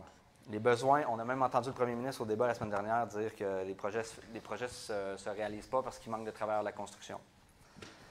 Les besoins ne sont pas moindres et le spectre des grandes inégalités plane. Le gouvernement a tenté de répondre à l'inflation en envoyant des chèques par la poste au lieu de s'attaquer au déficit d'investissement dans les infrastructures publiques. Répondre à une crise inflationniste en envoyant plus d'argent dans les poches des gens est un moyen qui a été tenté dans quelques pays en difficulté non recommandable, sans les résultats escomptés. Que peut-on faire de différent et réaliste qui pourrait aider les citoyens à traverser cette période instable? Le principe, hein, on connaît, quand on est en inflation, si on imprime plus d'argent, on ne règle pas nécessairement l'inflation. C'est là le, lien un peu avec, euh, euh, les, pays qui ont essayé ça et que ça n'a pas nécessairement fonctionné. Que comprenez-vous de cette situation et de l'impact que ça crée Saint-Colombin dans les Laurentides? Pour votre parti, quels sont les premiers gestes à poser économiquement pour augmenter ou pérenniser, je dirais, la sécurité financière des gens? On va commencer euh, par M. Philippe Lebel du Parti libéral du Québec. Vous avez deux minutes. Oui. Il y a effectivement une différence entre imprimer de l'argent et redonner de l'argent aux gens versus leur en prendre moins. Euh, dans le fond, euh, ce qu'on propose, nous, c'est d'avoir une réduction d'impôt sur les deux premiers, parties, deux premiers paliers d'imposition de 1,5% ce qui pourrait redonner jusqu'à 1125 par personne. Ça, ça ne veut pas dire je vous donne un chèque puis essayez de le toffer le plus longtemps possible. Sur chacune de vos payes, vous allez avoir plus d'argent pour arriver puis pour aider votre famille. On veut aussi geler les tarifs d'Hydro-Québec, puis on veut enlever la TVQ sur les tarifs d'Hydro-Québec. Pourquoi? Parce que tout comme les fruits et légumes à l'épicerie, Hydro-Québec devrait être considéré, bien, l'électricité en général devrait être considérée comme un bien essentiel. Tant que ça fait 100 ans qu'on aurait dû comprendre ça. Donc, en faisant ça, on vous enlèverait au moins 10% sur votre facture, puis en gelant les tarifs jusqu'à temps qu'on trouve un meilleur moyen de le moduler que de le lier à l'inflation. Je reconnais d'ailleurs que la coalition Avenir Québec est revenue en arrière sur son, idée. En faisant ça, on va arriver à, vous, à, ne pas en rajouter sur euh, l'inflation qu'on voit en ce moment. On veut aussi, dans le même, dans le même ordre d'idée, enlever la, la, TVQ sur les biens essentiels en pharmacie, comme brosse à dents, savon et compagnie. Si, encore une fois, les fruits et légumes ne devraient pas être taxés parce que c'est des biens essentiels, ça devrait être la même chose euh, pour, les biens de, pharmacie. On veut aussi doubler l'allocation pour les fournitures scolaires parce que c'est pas vrai que ça vous coûte juste 100 la rentrée par an par enfant, puis bien d'autres, pour faire en sorte qu'au final, une famille de deux parents, deux enfants recevrait environ 5 000 de plus par année. Pas juste en, nécessairement en chèque, mais aussi chaque fois sur, euh, chaque euh. Euh, pour, par rapport à la pénurie de main-d'œuvre, on veut garder les, les travailleurs expérimentés euh, au travail, notamment en réduisant les cotisations de RRQ, en ne cotisant pas sur les, en enlevant les impôts sur les 30 premiers 1000 dollars pour les personnes de 65 ans et plus. Puis évidemment, bien, grâce à la Charte des régions, on veut régionaliser l'immigration pour s'assurer de répondre aux vrais besoins. Merci beaucoup, Marie-Ève Milo, maintenant de Démocratie Directe. Bon, bien, nous, on avec Démocratie Directe, euh, on, aurait le comité économique, dans le fond, qui s'occuperait de, de cette partie-là. Euh, mais au niveau du budget, c'est quand vraiment qu'un citoyen en tant que tel a accès à ça, toutes les dépenses. Moi, je ne sais pas, on dit l'argent va là, mais on sait entre nous des fois qu'il y, y, a de l'argent qu'on ne sait pas où, il va. Mais dans le fond, euh, avec Démocratie Directe, avec les comités, il va y avoir cette transparence-là à ce niveau-là. Puis on veut vraiment euh, que vous soyez impliqués dans le budget. vous le savez, c'est quoi les priorités. Vous les connaissez, les priorités. Donc, on, va prioriser justement que les gens puissent se loger. on, peut faire euh, des, projets de loi, tout ça par rapport à ça. Vous, les, vous mettez vos propositions, puis nous, on, vous suit là-dedans. Les, propositions qui ont plus de votes ben, deviennent des projets de loi, puis c'est ça, c'est ça la beauté de ça. C'est que euh, on, construit euh, petit à petit ce que nous, on veut comme monde pour nous puis pour nos enfants. Monsieur Karim Alayoubi du Parti conservateur du Québec. Parfait. Donc, on, est tous conscients que sans une forte économie, euh, système de santé ne peut pas être fort. Système, les routes, euh, les, routes ne peuvent pas bien être euh, entretenues. Euh, le système d'éducation ne peut pas être fort non plus. Donc, l'économie, c'est très central dans une, dans une société. Nous, on est, c'est une valeur qui est importante. On veut que l'économie soit saine. Maintenant, si on regarde nos mesures, qu'est-ce qu'on voudrait au Parti conservateur du Québec? C'est pour pallier à la pénurie de main-d'œuvre, une des choses qu'on voudrait faire, c'est donner des crédits d'impôt très généreux aux personnes de 60 ans et plus et de 65 ans et plus. Entre 60 et 65 ans, un crédit d'impôt allant jusqu'à 3 000 et un crédit d'impôt allant jusqu'à 5 000 pour les 65 ans et plus, dans le but euh, de, faire en sorte que ceux qui veulent revenir au travail, ceux qui veulent nous aider à pallier à la pénurie de main-d'œuvre, qui sont encore en forme, qui sont encore en santé, qu'ils puissent le faire. Autre chose que sur le plan de l'économie, nous, on propose les baisses d'impôts les plus généreuses, c'est-à-dire le premier 5 000 et ce n'est pas pour les riches, là, contrairement à ce que certains disent, non, pas du tout. Euh, c'est le premier 5 000 entre ça veut dire entre 15 000 et 20 000 il n'y aurait pas d'imposition sur ce, sur ce 5 000-là. Euh, les deux premiers paliers d'impôt, c'est-à-dire entre 23 000 et, 46 000 une diminution de 2 d'impôt, et entre, euh, entre 46 000 et 93 000 une diminution de 2 ça, ferait, ça peut faire plusieurs milliers de dollars dans les poches d'une famille de la classe moyenne. Ça, c'est, pour les diminutions euh, d'impôts. Nous, on pense que donner des chèques, ce n'est pas la bonne chose à faire parce que c'est une mesure qui est, pro-inflationniste. Pro Nous, on veut avoir des mesures qui sont structurantes et qui ne font pas en sorte qu'on vous donne un chèque, mais vous pensez être plus riche, finalement, vous n'êtes pas plus riche. Nous, euh, ça, c'est important pour nous. On veut également suspendre la taxe sur l'essence de façon temporaire. Il y a toutes sortes il y a des choses géopolitiques à l'heure actuelle qui se passent sur la planète qui font en sorte que ce n'est pas de notre faute, le prix de l'essence a augmenté, mais nous, on veut donner un, répit aux familles pour qu'ils puissent, euh, pour, euh, qu'ils puissent aller mettre de l'essence dans leur véhicule sans que ça leur coûte trop cher. Monsieur Girard du Parti québécois maintenant.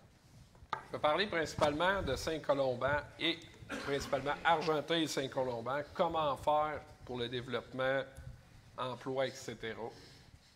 Mon travail, exemple, c'est les métiers semi-spécialisés dans des classes en commission scolaire. C'est l'intégration des jeunes en milieu de travail qui n'ont pas eu nécessairement le parcours le plus brillant, brillant, euh, les A+, à l'école, mais qui ont du cœur sur la main et qui veulent travailler. Un des défis souvent qu'on a dans notre société présentement, il y a, des, barrières. Ça prend minimum un secondaire 5, euh, ça prend minimum. Euh, les, industries ont quand même des critères, euh, des fois, qui sont nécessaires, mais qui sont manageables avec formation en milieu de travail. Donc, il y a tout un travail avec les entreprises, parce qu'on en a du monde qui peuvent intégrer le marché du travail, puis que des fois, il, manque d'incitatifs ou les portes sont pas ouvertes pour qu'ils le fassent. Il y a déjà des organismes qui ont des programmes qui sont en train de développer. Si je prends juste la Carrefour Jeunesse Emploi, que si on, développera encore plus, qui ont des programmes d'intégration au milieu de travail de 18-30 ans, etc., qui pourraient faire dix fois mieux encore. La même chose que les métiers semi-spécialisés, puis les, programmes de l'éducation puis des écoles, que si on pousse encore plus, on va intégrer encore plus de gens formés. Euh, la crise du logement, on en a parlé tantôt, il faut mettre une limite à ça. C'est aux nouvelles, si vous regardez, encore 30 à 40 mois d'augmentation de, de, la valeur immobilière à Montréal, ça va avoir nécessairement un impact sur nous. Il faut, bloquer la montée des, logements. De toute façon, les salaires ne pourront pas suivre si ça grimpe juste en flèche, puis, puis on ne s'en mêle pas un peu.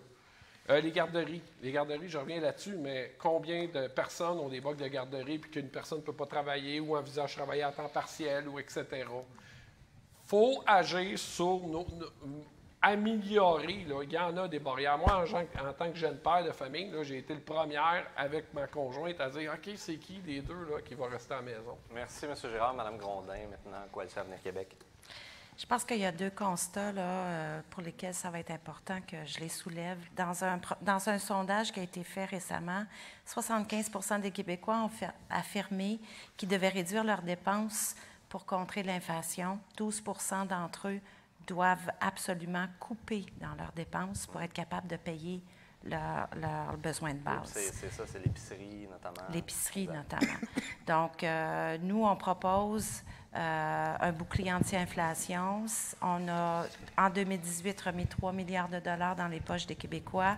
Là, on va baisser les impôts, plafonner les tarifs, protéger les Québécois contre l'inflation on a un autre constat auquel il faut s'attaquer, c'est celui du maintien de nos actifs en infrastructure, les hôpitaux, les écoles, les routes. Il y a beaucoup de bâtiments qui tombent en ruine hein, euh, ou qui sont énergivores. Donc, il faut vraiment mettre le paquet. C'est un chantier d'une génération. Euh, c'est pas un choix, c'est une obligation. Donc là, le PQI s'établit pour 2021-2031 euh, à 135 milliards. On, a choisi la santé, l'éducation, l'enseignement supérieur, le réseau routier, le patrimoine bâti. Euh, ce qu'il faut faire aussi, c'est investir dans l'avenir. Euh, il y a un plan d'opération main-d'œuvre, 4 milliards de dollars. On a ciblé euh, des, des, secteurs clés, la santé, les services sociaux, l'éducation, les services de garde, le génie, les technologies de l'information, la construction. On a aussi financé à la mission des organismes communautaires, surtout ceux qui sont dans le service euh, et sociaux et santé. Euh, il y a le grand chantier famille pour les services de garde. On veut améliorer l'accès au logement.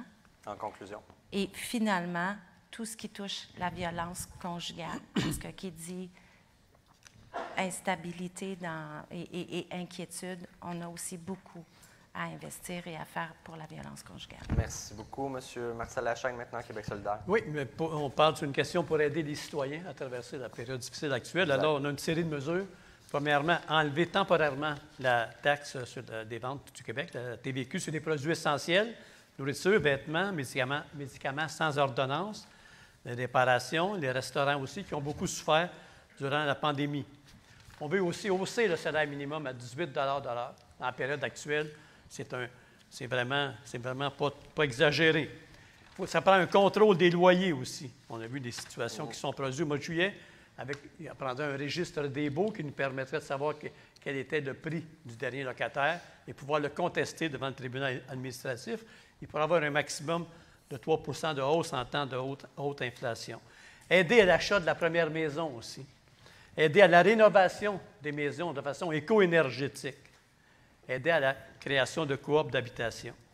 Alors, la construction de logements sociaux aussi pour les personnes qui ont vraiment des revenus qui sont euh, faibles. On, on, en prévoit 25 000 logements sociaux dans notre premier mandat. Mais il faut aussi agir sur les changements climatiques. Vous le savez, c'est une urgence.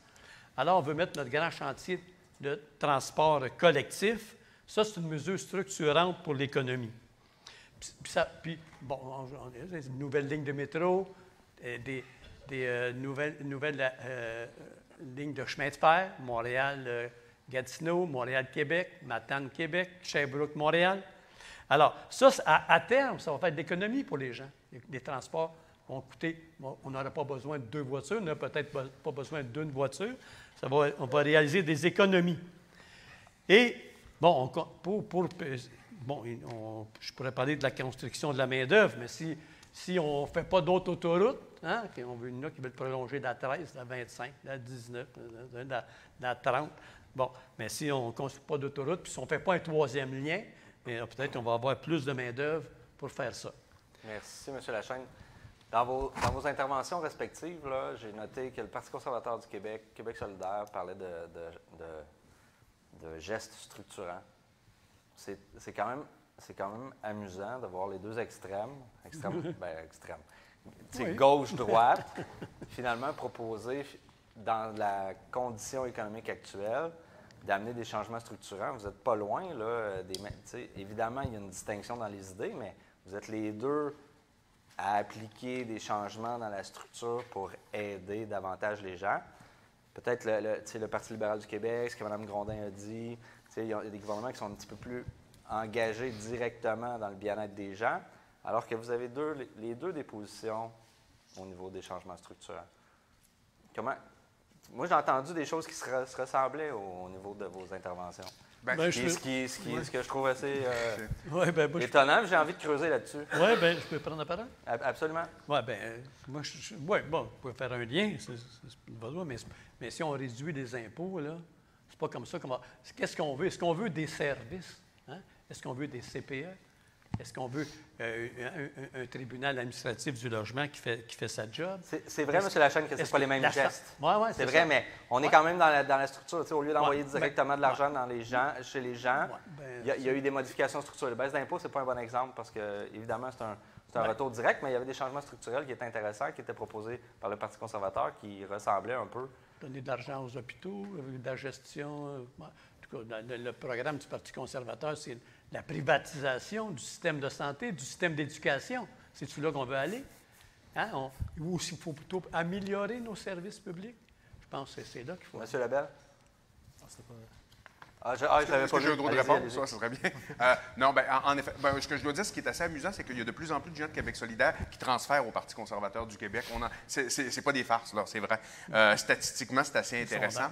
Par contre, non, euh, ce- moi, ce que je dis, c'est qu'on peut tout à fait diminuer les impôts, OK, et faire de façon intelligente et ne pas couper dans les services. Tout ça existe. Il y a des modèles comparatifs à l'échelle de la planète. À un moment donné, lorsqu'on atteint un certain niveau de taxation, d'imposition, ça fait juste engraisser une machine et les gens, comme, on- comme au Québec à l'heure actuelle, on paie trop cher pour pas suffisamment de, de services. Mais donc, je pense que la diminution d'impôts intelligent, on ne dit pas on veut diminuer les impôts de 15 C'est pas ça. Là, Là, on, serait obligé, obligé de couper dans les services. Mais à 2 sur les deux premiers paliers d'impôts, on n'est pas du tout obligé de couper dans les services. Monsieur Lebel, Euh, ben, je trouve ça intéressant que vous, vous montriez là, la, la- la ressemblance. Moi, je trouve qu'on est très, on est beaucoup, euh, vraiment entre les deux. On propose des, baisses d'impôts qui sont, raisonnables, mais qui vont donner un très bon niveau d'aide euh, aux familles du Québec. Puis en même temps, ben, nous, on est prêts euh, parce que oui, les paliers d'imposition, la manière que ça fonctionne, c'est que les personnes qui sont au top bénéficient aussi de la diminution d'impôts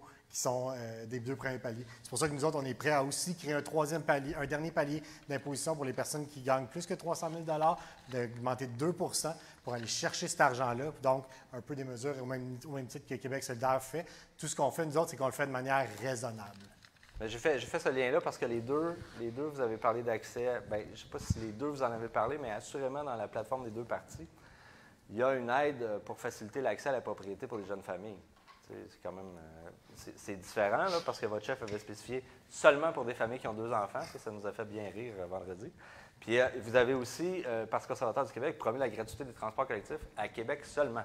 Un projet, c'était- en réalité, c'est un projet pilote et on voudrait l'agrandir euh, parce que ce qu'on veut faire, on veut mesurer. Est-ce que les gens veulent vraiment ça? Ouais. Si les- et, et- et le coût également, parce qu'il faut toujours mesurer, mais on serait prêt à, faire en sorte que ce soit pan-provincial. Je vous ramène dans, la dynamique où comment on renverse la tendance, c'est de prioriser les Laurentides au détriment des autres régions. Oui. Euh, quand on a entendu ça vendredi, ça nous a fait un peu euh, sourciller. Euh, comme dernière intervention sur ce sujet-là, est-ce que je passe à l'autre question tout de suite? Ça va? Donc, on me souffle à l'oreille que nous sommes en retard, alors euh, je, sauterai la sixième question avec votre accord. Donc, c'était une intervention davantage macroéconomique sur le budget. Euh, comment on agit, est-ce qu'on on coupe les dépenses, on augmente les revenus? Vous aurez la chance euh, d'y revenir si jamais vous avez l'opportunité de le placer. Je vous fais confiance. Vous êtes, capable de placer vos lignes de partie depuis le début de la soirée. Vous allez être capable de placer les, éléments de réponse. Donc, question 7. Les municipalités ont fait co- reconnaître euh, leur, connaître leurs revendications il y a quelques jours dans le cadre de la campagne électorale. Dans une dynamique de partenariat hein, de gouvernement de proximité avec le, gou- avec le gouvernement de proximité que nous sommes, si vous aviez comme député à vous prononcer sur le fait de donner plus de pouvoir aux municipalités comme Saint-Colomban, quel serait-il? En deuxième lieu, pour stimuler le débat, qu'implique un gouvernement de proximité pour vous et votre formation politique en termes légal, en termes financiers? Euh, Monsieur Karim Elayoubi, Elayoubi, pardonnez-moi, vous avez une minute pour répondre. Donc, euh, moi, je mettrais l'accent davantage sur le premier élément de la question. Si vous aviez à, à donner un pouvoir au milieu municipal, quel serait-il? Euh, un pouvoir, moi, je pense que c'est la, ge- la gestion des hôpitaux. Cla- clairement, la gestion de- du financement au niveau des Aux hôpitaux. villes? Ben, pardon, aux hôpitaux, les hôpitaux eux-mêmes. OK. OK? Mais L'hôpital gère Directement aux villes. là. Si vous aviez à, le, les villes, oui, parfait, à comprendre un peu l'éventail Oui. des pouvoirs des municipalités. là. Oui. Euh, euh, je pense que l'Union des municipalités, la, la Fédération québécoise des municipalités a fait l'éventail un peu des revendications qu'ils veulent aller, ben, qu'ils ont auprès du gouvernement. Quel serait un des pouvoirs que le Parti conservateur du Québec serait prêt à concéder aux municipalités? La gestion des routes, dont, euh, avec le budget, la gestion du budget des routes, OK, dont euh, les municipalités ont l'expertise. C'est-à-dire, c'est sûr qu'à un moment donné, des fois, il y a des choses qui sont, très, qui sont beaucoup plus pointues, qui nécessitent, euh, qui nécessitent des études plus approfondies. À ce moment-là, c'est sûr qu'ils ont besoin de la MTQ, naturellement. Mais pour les routes municipales, pour les, et pour, même pour les, les- les routes euh, qui appartiennent à la MTQ comme telle, on donnerait le pouvoir aux municipalités de gérer le budget. Avec l'argent. Avec l'argent, exactement. Ça- Et euh, la MTQ serait là pour euh, assurer une expertise dans le cas où les, besoin. municipalités ont besoin des expertises. Merci beaucoup. Monsieur Girard, Parti québécois, un pouvoir. Bien, farce à part, oui, les routes, très, très bonne idée. Combien de fois dans une ville, on va voir, ce bout-là a été fait par la ville, il est beau, puis là, tu arrives juste l'autre bord, ça appartient à MTQ, puis euh, c'est tout magané, puis ça n'a pas été refait. Ça, c'est problématique. Il faut que les villes aient tous les droits puis les fonds.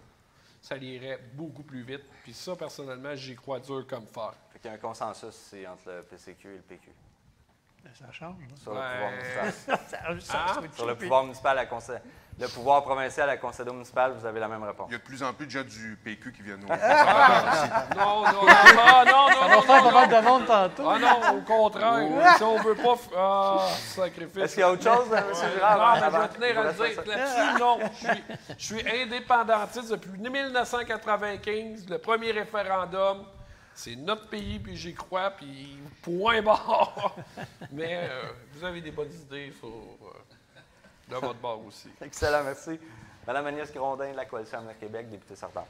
Bien, en fait, il y, en a plusieurs, mais un des importants là, en termes d'autonomie, c'est l'autonomie pour le développement économique local et régional. Ah, ça Je pense que, tu sais, on a avec Investissement Québec, avec la décentralisation euh, dans les services de développement économique, euh, le guichet Accès Entreprises Québec, si on a réussi à s'en sortir après la pandémie là, en termes de croissance économique, c'est grâce au travail qui a été fait dans les petites PME par le milieu municipal en identifiant euh, qui sont les acteurs importants. Donc, dans votre plateforme, il y a une possibilité de pérenniser un peu cette aide-là, parce que si je ne m'abuse, c'était temporaire dans une perspective pandémique.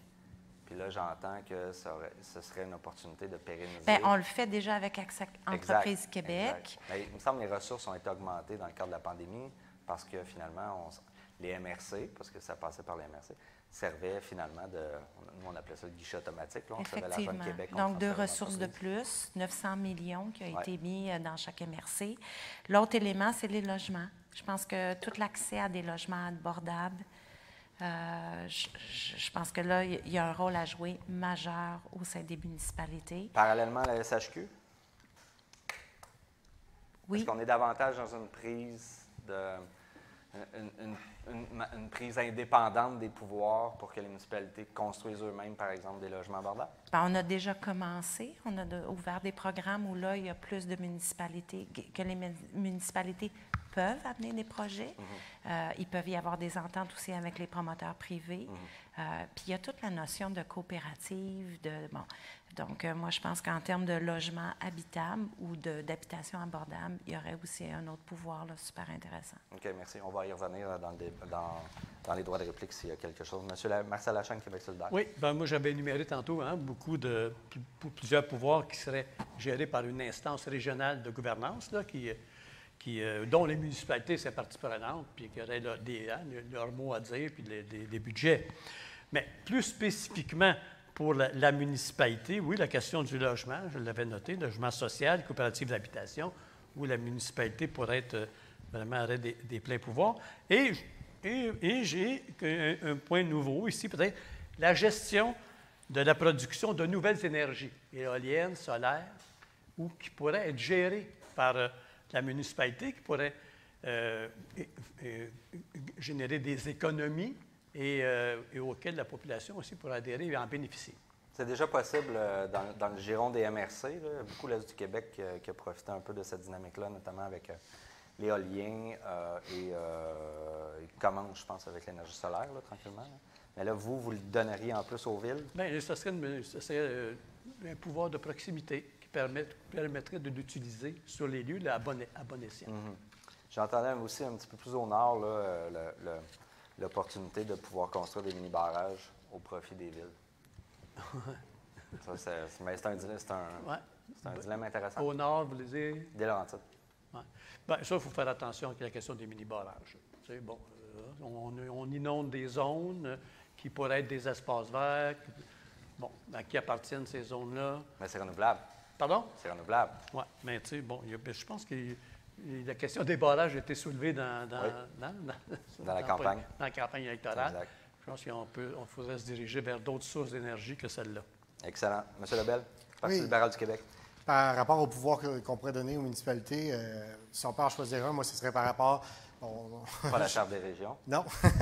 La- euh, par rapport au logement abordable, euh, dans- au logement abordable et sociaux, dans le fond, on veut donner un droit de, le, le droit de péremption aux municipalités pour que s'ils ils voient un besoin puis une opportunité de logement abordable, qu'ils puissent le faire. L'autre chose qu'on veut donner, c'est aussi le droit aux municipalités de moins de 100 000 habitants de- d'offrir des incitatifs financiers, ben, fiscaux euh, aux promoteurs pour les attirer. Je parlais notamment avec la, la ville de la Chute qui nous disait que ben, le logement abordable, c'est pas tous les promoteurs qui sont intéressés d'en construire parce que c'est pas assez payant. Si la ville voit vraiment une nécessité de le faire, il pourrait après ça aller chercher un incitatif financier. Puis, euh, encore une fois, aux assises de l'U- de l'UMQ, le Parti libéral est le seul à s'être levé et avoir dit oui, il faut revoir la fiscalité des municipalités parce que euh, date du 19e siècle, puis c'est devenu un gouvernement de proximité. Sans vouloir vous contredire, le seul qui l'a adressé directement mercredi dernier, c'est Gabriel Nadeau-Dubois. de Je parlais des assises, pas, de- pas du sommet. Hum, Madame Milo, démocratie directe. Bien, à démocratie directe. le on- pouvoir de choisir? Le pouvoir de choisir, ben oui. Mais c'est ça la ligne de parti, dans le fond, c'est que, c'est que nous, on c'est la séparation des pouvoirs. On ne veut pas qu'une seule personne puisse euh, gérer tous les, euh, les aspects de la, de Mais la, C'est intéressant, Mme Milo. Qu'est-ce qu'on fait avec les villes dans une dynamique de démocratie directe? Ben, c'est exactement ça. Moi, mettons, euh, par rapport à euh, la, circonscription, ben, ça serait des comités dans la circonscription.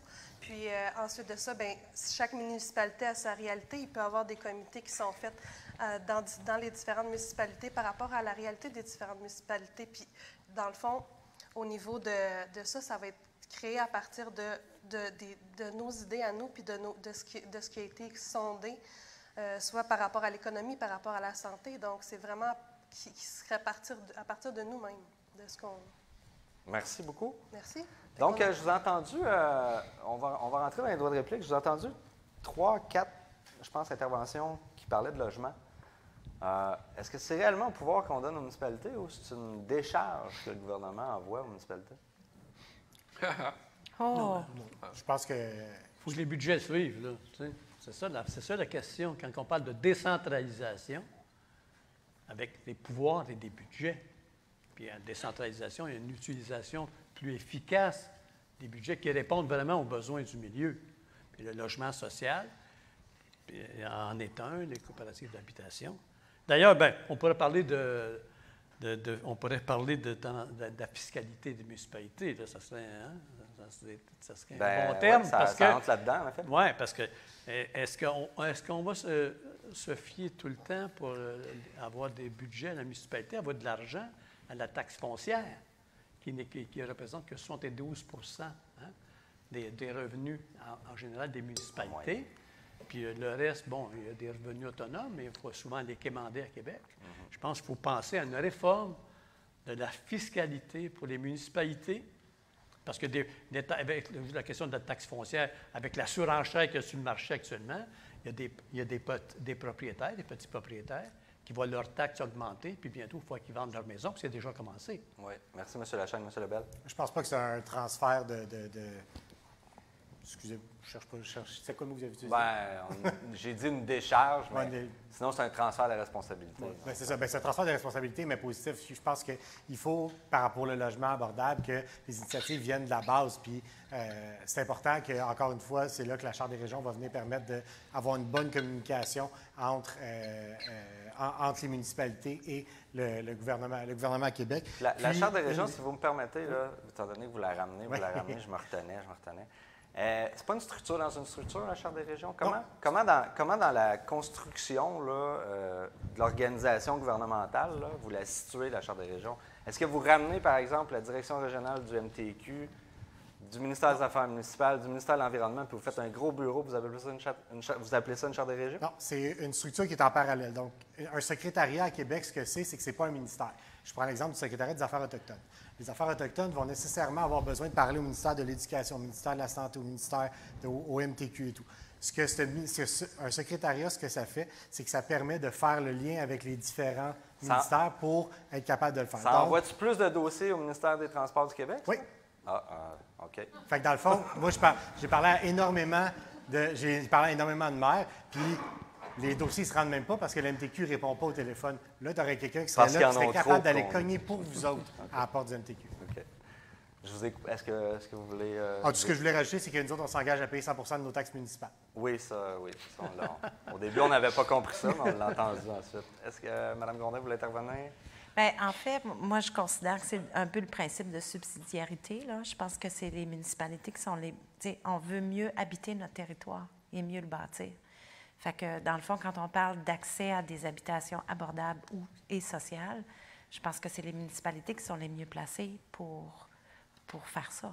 C'est intéressant. Aujourd'hui, j'étais avec l'innovateur en chef euh, du Québec, M. Luc Sirois, qui est un titre qui existe dans, le gouvernement. Et euh, on, réfléchissait à la place d'innovation aussi dans le milieu municipal parce que les municipalités changent. Hein. on l'entend beaucoup. Euh, soit on, augmente nos responsabilités de manière volontaire, parfois c'est involontaire, mais on est même, on est encore pris dans le même contexte légal où on ne peut pas faire d'entente avec une banque pour avoir un guichet dans un milieu décentralisé comme une ville comme Saint-Colomban ou comme dans une. Ça peut être des municipalités éloignées, si je pense au nord des Laurentides. Donc, on est encore restreint dans la possibilité de signer des ententes avec des entreprises pour nous permettre de développer. Mais une ville, c'est un vecteur de changement. Puis on n'a pas tous les moyens qu'une coopérative peut avoir, qu'une OBNL peut avoir, qu'une entreprise privée peut avoir. Donc, ça, c'est des pouvoirs importants qui nous permettraient d'avoir beaucoup d'outils pour développer nos communautés. vous voyez ici, on a 18 000 personnes, on a trois dépanneurs, deux stations-service. Ça ne marche pas. ça n'existe pas nulle part ailleurs au Québec. Mais c'est parce qu'il n'y a personne qui veut venir investir, parce que, bon, historiquement, il n'y a jamais personne qui est venu, puis tout ça. Fait comment, nous, comme collectivité, on se rassemble, on pense à rapprocher les services de proximité sans nécessairement dépendre du milieu privé? C'est un, gros, c'est un beau défi. Donc, euh, bon, c'est mon, c'est mon éditorial. Hein. L'éditorial. Tu ajouter un petit quelque chose ou on n'a plus de temps? Oui, allez-y, allez-y. Oui, ça, ça, sera pas long, je vais juste ajouter. Mais c'est de là qu'on parle, puis on a quand même un modèle, on a deux modèles au Canada. On a un en Alberta qui a été fait, puis euh, on est capable de. Euh, puis euh, l'autre, je crois que c'est en Saskatchewan de mémoire, le chantier sur l'étude de la déréglementation. Je pense que c'est très important parce que à, chaque fois qu'il y a énormément de règlements, puis c'est très difficile pour les investisseurs, des fois, par exemple, de, l'incitatif à construire des, des nouveaux appartements. Je pense que ça se doit absolument d'être fait. on a des modèles ailleurs qu'on peut euh, imiter sans se taper tout le travail nous-mêmes. À partir de ce moment-là, c'est là, qu'on va être capable de, déterminer quel règlement est vraiment superflu, lequel on peut enlever. Puis il va avoir, euh, de, facto, il va y avoir une croissance économique et de facto, il va y avoir des logements également qui vont se faire construire. Et euh, comment je peux dire, mais je ne suis pas contre, moi personnellement, le fait que les euh, que le logement soit géré plus au niveau des municipalités, mais aussi, ce n'est pas nécessairement toujours un, one size fits all. Si certaines municipalités considèrent qu'ils n'ont pas l'expertise, que c'est trop lourd, il faut leur donner la possibilité aussi de dire, OK, c'est correct, on ne on, vous imposera pas cette charge supplémentaire. Merci beaucoup. Euh, ça fait le tour de la question 7. Ça nous amène à la question 8. On est 9 minutes en retard. C'est correct, hein? on s'amuse. Aujourd'hui, il, euh, aujourd'hui, ne suffit plus de dire que l'environnement, c'est important. Ce n'est plus une question de valeur ou d'intérêt, c'est une question de survie. Il devient ici essentiel de définir comment, comme membre d'un parti avant tout, ce que vous êtes, euh, les changements climatiques et les questions environnementales se définissent dans votre engagement politique. Quelle place vont prendre ces deux éléments dans vos réalisations? L'objectif de la question, ce n'est pas de savoir, je ne veux pas vous entendre dire l'environnement, c'est important pour nous. C'est correct. On l'a entendu, on a fait le tour de la chanson. Ce qu'on veut savoir, c'est l'environnement, quelle place ça prend dans votre réflexion politique, dans votre engagement, qui fait que dans votre, dans votre schème décisionnel, chaque fois que vous prenez une décision, l'environnement, il est où? C'est ça qu'on veut savoir avec cette question-là. Dans un contexte évident de besoins limités, de ressources limitées, comme futur député, vous défendriez prioritairement quel programme soutenant quel type d'infrastructure en lien avec comment on traite l'environnement dans votre, dans, votre chaîne décisionnelle? On commence par M. François Girard du Parti québécois. Vous avez une minute. Je ne suis pas un pro de l'environnement, mais il y a une chose que je sais. Je viens de la Minerve, je l'ai dit tantôt, même une famille fondatrice, puis nos lacs là-bas, c'est avec le monde, avec des comités, puis terrain. Puis tu n'as pas d'affaire à pas faire laver ton bateau avant de le mettre sur le lac, ou etc. Puis c'est bien contrôlé. Puis il y a moyen de mobiliser la communauté c'est sûr qu'on est entouré de gens qui vont nous aider à mieux faire. Mais en tant que citoyen qui a profité des lacs et des eaux des Laurentides, je peux vous dire y a des, endroits bien contrôlés. Tu pas polluer ton lac. Mais d'autres lacs, le monde, il se passe le mot à telle place, on peut faire ça. Il y a tout un contrôle terrain à faire, pas juste en jasant en haut. Puis la vérité, c'est qu'en ce moment, il n'y a pas tant de monde, malgré que le PQ a un super beau programme, euh, QS aussi, puis il faut mobiliser la population, puis il faut interdire les gens. Puis ça se passe à la base, ça se passe avec les gens qui habitent autour du lac, puis pas accepter qu'est-ce qui pollue. L'environnement, oui, je l'ai au cœur. Puis présentement, là, fait juste se dégrader. Il y a du monde qui me comptait, là, hey, en Gaspésie, toute la forêt est arrachée à tel endroit. je, vous le dis, là, c'est pas vrai qu'en s'améliorant, elle se dégrade. Donc, ah, en conclusion. En conclusion, il faut être terrain, il faut se mobiliser avec son monde comme ici. Puis il faut y voir. Puis il faut partir micro. Saint-Colomban. Madame Agnès Grondin, Coalition Avenir Québec. Il y a le juste de formation concernant l'environnement pendant de nombreuses années. Combien de temps? J'ai pas Une compris. Une minute? Oh mon Dieu. OK. Donc, euh, moi, je vais défendre sans équivoque les projets d'infrastructure naturelle. Hein. Euh, moi, je trouve que c'est l'une des plus grandes forces euh, du comté d'Argenteuil et même des Laurentides. Euh, pour moi, c'est parce que c'est une question de vitalité de nos communautés. Euh, ça atteint différents objectifs quand on protège nos milieux naturels, quand on protège nos plans d'eau. C'est une question de qualité de vie, c'est une question de saines habitudes de vie. Euh, ça attire la villégiature dans certains endroits. C'est des projets d'écotourisme, de tourisme durable. Euh, ça peut être des projets d'éducation relatifs à l'environnement. C'est une, une contribution, à mon avis, significative qu'on peut jouer en matière de lutte au changement climatique et d'adaptation au changement climatique. Puis, on peut faire de l'agriculture verte aussi. Donc, pour moi, là, ça devient une opportunité magnifique en termes de bien-être et de bonheur. Euh, il y a beaucoup d'argent, je l'ai dit. Il y a plus d'un milliard de dollars qui est investi, euh, qui sera investi dans la protection des milieux naturels, dans la protection de l'eau. Pour la protection de l'eau, c'est des actions citoyennes, c'est de la science citoyenne qui est mise en avant. Merci, Mme Gondin. M. Marcel Lachane de Québec solidaire. Oui, bon, hein, c'est dit dans votre introduction, il y a urgence, il faut réduire les gaz à effet de serre. Puis, notre, programme est très centré là-dessus. Quand on parle d'une révolution dans le transport, transport collectif, ça va coûter des milliards. Mais c'est là qu'il faut aller. Hein? Nouvelle ligne de métro, ligne ferroviaire, l'électrification de, ces lignes-là. Il faut euh, avoir une taxe de carbone pour les grands pollueurs. Il faut euh, avoir l'interdiction de vendre des véhicules à essence à partir de 2030. Ça, c'est concret. Et je, reviens encore au, au PAC de Saint-Colomban, le plan hein, contre les changements climatiques, à revoir notre façon de produire, de consommer, de disposer des déchets. C'est important, ça. Euh, ça, ça, une façon de réduire les gaz à effet de serre. On parle aussi dans notre programme de taxer les VUS et camionnettes, sauf avec d'exceptions, ceux qui en ont vraiment besoin, familles nombreuses. Mais c'est un signal à envoyer qu'il faut changer nos façons de faire. Et ça prend une loi contre le gaspillage alimentaire qu'on retrouve beaucoup dans le secteur de l'hôtellerie, la, restauration, institutions, euh, les institutions générales, dans le domaine agricole. Merci, M. Lachaine. Philippe Lebel, maintenant, du Parti libéral du Québec. Oui, donc pour répondre directement à la question de quelle place ça prend dans, notre parti, euh, à peu près 30% deux sections sur six de notre plateforme traitent de des changements climatiques et de l'environnement. Notre chef, quand elle sera première ministre, veut être la ministre des champs de la lutte au changement climatique. Ça, ça veut dire que n'importe quelle décision qui se prend dans le caucus libéral, il va avoir une, opportunité centrale, bien, une, une, emphase centrale sur la lutte au changement climatique dans n'importe quelle amélioration qu'on fait de, de notre province. On propose le plus gros projet depuis la romaine avec notre projet ECO d'amener l'hydrogène comme une source alternative parce que l'électricité, c'est pas assez. Puis si vous me demandez, pour répondre à la question de ce serait quoi le, premier que moi je prioriserais dans toutes nos, euh, les choses qu'on veut amener, c'est ramener le, euh, ramener le, le projet excusez-moi, un programme Rénovert qui permet d'aider à la rénovation des maisons pour, parce qu'en ce moment, je, viens de m'acheter une nouvelle maison, il me donne 60 par ouverture pour mes 18 fenêtres et portes que j'ai à changer chez nous. Je le prendrai le 10 000 de crédit d'impôt. Excellent, merci beaucoup. Madame Marie-Ève Milo, Démocratie Directe.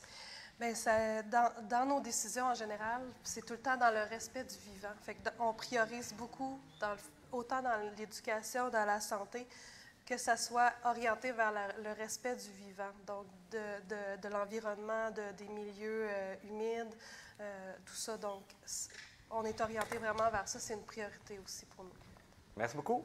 Monsieur Karim El Ayoubi, Parti conservateur du Québec. Oui, nous, Parti conservateur du Québec, on, on le voit de façon, euh, on essaie de, le- de le voir de façon là, euh, multidimensionnelle. C'est-à-dire, oui, c'est très important, mais nous, euh, on- ce qu'on a regardé, on a regardé des études. Depuis mille- 1930, OK, les, les décès liés au, au- au changement climatique, même si l'activité humaine contribue au, au changement climatique, ont diminué de près de 90 en raison de la croissance économique.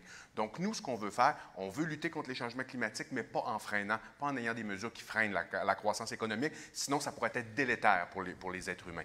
Donc, nous, ce qu'on veut faire, on s'en cache pas, on veut, on veut avoir un modèle qui ressemble plus à celui de la Norvège, par exemple. OK?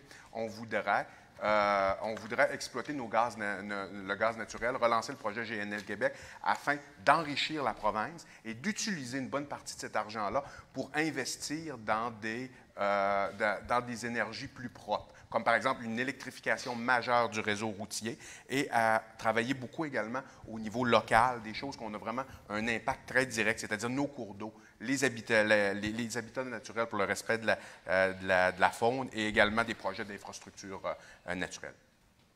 Merci.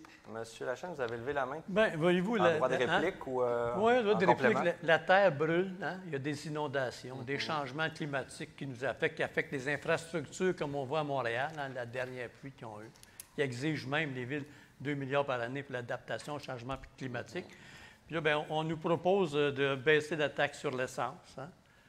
de, je ne sais pas comme une autre, me- une autre mesure qui venait de ça. En tout cas, comme si, il y avait- on, comme si on ne reconnaissait pas qu'il y avait des, des chan- des changements climatiques. Alors, la, il faut, faut- la croissance, il faut faire justement faire, faire attention pour qu'il y ait une production locale. Il ne faut pas qu'il y ait une croissance euh, à tout craint. C'est justement, c'est justement là qu'il ne faut pas aller. Monsieur Lebel. Oui. euh, effectivement, il ne faut pas que, l'économie subisse de préjudice par rapport à la lutte au, changement climatique. Puis il faut effectivement faire un, effort mondial. J'ai entendu le Parti conservateur souvent dire qu'il faut, faut exploiter nos hydrocarbures pour empêcher la France puis l'Allemagne de retourner au charbon. Il y en a une autre solution, c'est l'hydrogène. Si on met tous nos œufs dans le même panier de l'électrification, on n'aura pas assez de batteries. On n'est pas capable en ce moment de les recycler. Il faut avoir cette solution alternative-là. Puis euh, l'hydrogène va aussi nous permettre d'avoir une certaine croissance. Puis le projet ECO, c'est pour ça que ça marie super bien écologie et économie. Madame Grondin. Bien, je, je pense qu'on est dans une échelle là, de court, moyen, long terme. là. Je sais qu'il y a urgence, on l'a identifié, l'urgence des changements climatiques, mais en ce moment, là, avant d'inventer l'hydrogène vert ou toute autre forme d'énergie possible, euh, je, pense qu'il faut, il faut, pour réduire les gaz à effet de serre, il faut que la population embarque. Il faut des changements de comportement. Puis ça, on l'a vu avec la pandémie, euh, pas gagné d'avance. Fait qu'en attendant, qu'est-ce qu'on peut faire, puis comment on peut être réaliste sans taxer, taxer, taxer, taxer, sans faire dire euh, on va exploiter nos hydrocarbures en attendant comme transition? Je pense que le plan de la coalition Avenir Québec est assez raisonnable, puis on va tant mieux si on va plus loin que ça, mais il faut travailler surtout dans, dans les Laurentides, aussi sur d'autres choses que les changements climatiques, l'eau, la nature. Monsieur Layoubi. Oui, moi, ce que je voudrais euh, répondre ici, c'est je- au- nous, on- au, Parti conservateur, on n'a absolument rien contre l'hydrogène. Ça peut être une bonne idée, tout à fait. Euh, même l'exploration à la limite du nucléaire, qui est, qui est une, une énergie très propre, c'est pas une promesse, là, mais on parle ici, ce qui est une énergie extrêmement propre. À ce moment-là, oui, ça pourrait être intéressant, mais on s'entend que c'est pas pour demain matin. On le sait très bien. Ça on va avoir- l'indépendance du Québec aussi. Pardon? Je pense que ça prendrait l'indépendance du Québec. C'est une compétence fédérale. Vous avez, vous avez raison. Vous avez raison. Euh, Mais ce que je veux, ce que je veux dire ici, c'est que euh, on le sait que pour les 40 à 50 prochaines années, on va avoir besoin d'hydrocarbures. Les GES, c'est un phénomène qui est planétaire. OK? Le- donc, euh, si on le produit ailleurs, OK, si nous, on le fait produire ailleurs et on l'importe ici, par rapport à si on le produit de façon plus environnementale ici, ça peut être bénéfique. C'est ça qu'on essaie de faire, comprendre. Il faut le voir dans une façon globale et dans une façon planétaire. Il n'y a pas, euh, comment je peux dire, une couverture au-dessus du Québec qui fait en sorte que si on a, euh, les hydrocarbures qu'on importe sont euh, exploités ailleurs, qui va nous protéger des GES comme tel. C'est planétaire. S'il y a des GES qui sont émises par la Chine, par l'Inde, ils vont nous arriver ici. Il faut vraiment le voir comme ça. Merci, Layoubi. Madame Grondin a demandé la parole et ensuite M. Gérard. Rapidement, ça fait 30 ans qu'on dit qu'on va réduire nos gaz à effet de serre, puis qu'on dit qu'il faut réduire euh, tout ce qui est exploitation de nos énergies fossiles. On sait que ça fait 30 ans que c'est le transport qui est un des éléments ou un des secteurs sur lesquels il faut travailler. Puis depuis ce temps-là, on n'a pas plus, même si on dit qu'il faut faire de la transition, puis on en a besoin encore. À un moment donné, il faut qu'on arrête. C'est pour ça qu'on a coupé euh, empêcher euh, l'exploitation des hydrocarbures, puis il faut continuer. Là. Il faut faire du travail au Québec. Merci, euh, M. Girard. Je pense que toutes les parties ont, un intérêt. C'est une question actuelle, mais j'ai un petit mot à dire.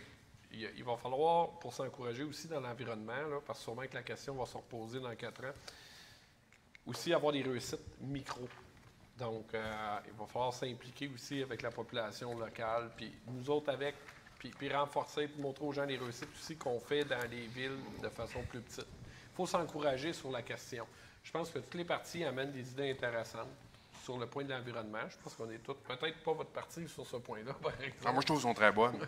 je ne dis pas qu'elles sont mauvaises. Elles voient les choses dans une perspective multidimensionnelle. Oui, mais, mais, dans un souci d'avenir environnement, il faut commencer à quatre parts, puis commencer de façon micro avec des gestes concrets. C'est déjà un début. Merci, M. Gérard. Ça nous amène euh, à votre, à votre conclusion, à vous.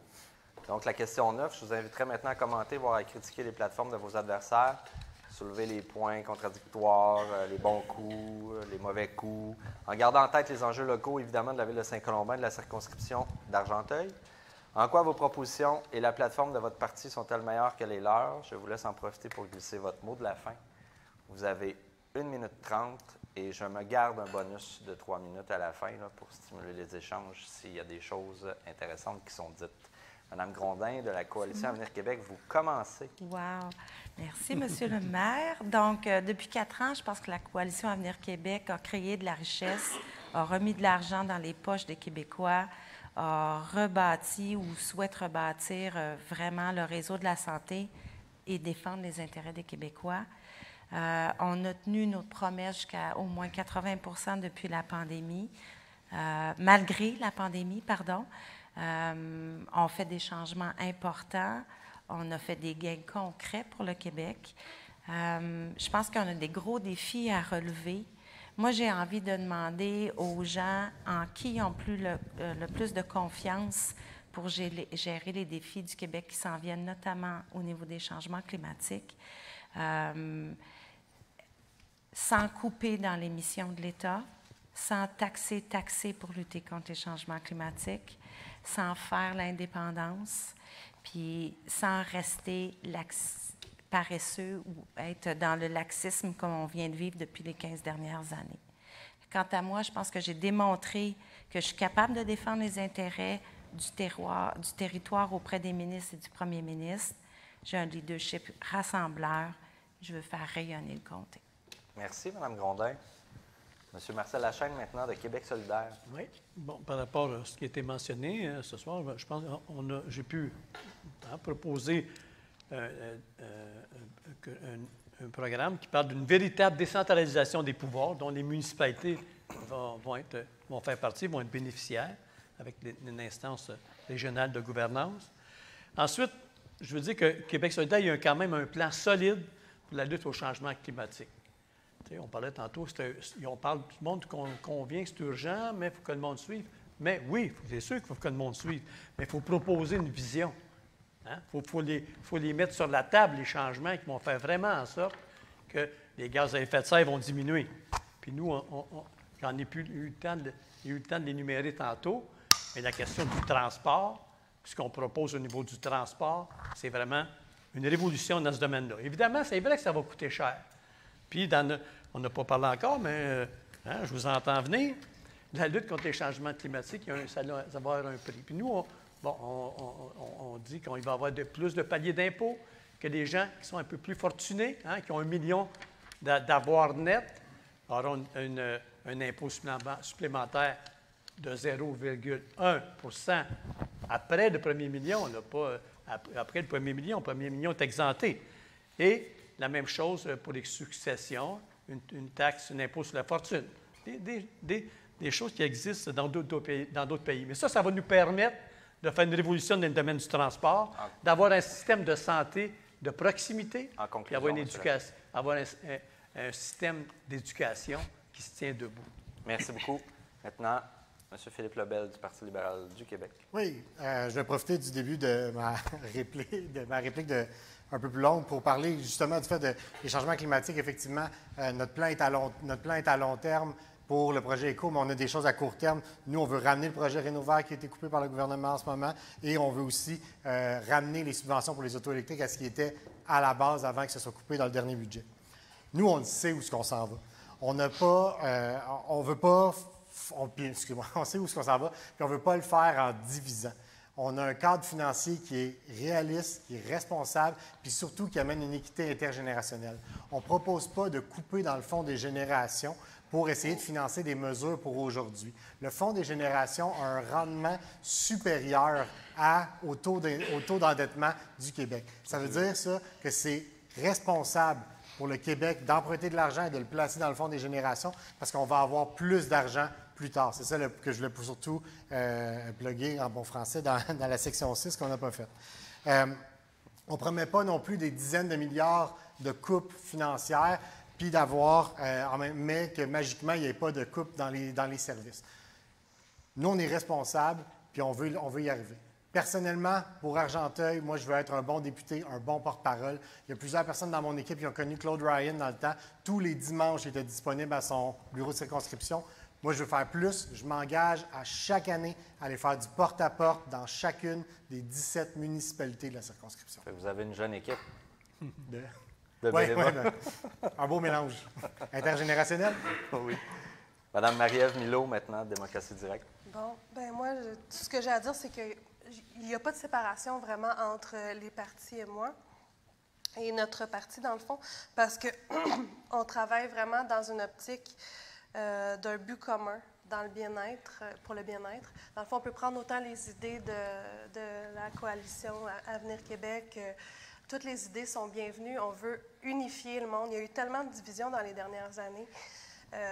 Que là, nous, ça ne sert à rien de se diviser. Il faut, vraiment trouver des solutions ensemble. Mais la différence qu'on peut emmener, c'est que c'est le peuple qui va décider l'avenir et non une personne qui, qui, décide vraiment de tout. Vous êtes la solution à, à tous nos problèmes. Merci beaucoup. Monsieur Karim El Ayoubi, maintenant du Parti conservateur du Québec. Mais je pense que nous, au Parti conservateur du Québec, on s'est rendu compte que le modèle au Québec ne fonctionnait plus, malheureusement. Il a déjà été bon avant, mais avec le vieillissement de la population, il n'est plus adéquat à l'heure actuelle. Il y a des changements qui sont très importants. On est le seul parti qui propose des, réels changements et non juste des variantes de ce qui se faisait dans le passé, selon nous. Euh, on, propose une réelle décentralisation euh, de l'État également dans le réseau de la santé. On propose une juste utilisation du réseau privé, comme dans tous les pays européens les plus performants en matière de santé, où est-ce que les gens peuvent accéder au réseau privé avec, euh, avec, avec les- et que l'État paie. On propose que les gens puissent accéder et au réseau public et au réseau privé avec leur carte d'assurance maladie. Euh, également, on propose euh, on est un parti qui est très centré sur la classe moyenne. On propose de baisser les impôts. Les, les baisses d'impôts qu'on propose, ça ne fait pas beaucoup de différence dans les poches de quelqu'un qui gagne plusieurs centaines de milliers de dollars, mais dans les poches d'une famille de la classe moyenne, ça fait une différence très significative. On propose des euh, mesures structurantes pour lutter contre l'inflation parce qu'on ne veut pas vous faire à croire que juste en vous donnant un chèque, vous allez être plus riche quand ce ne sera pas le cas.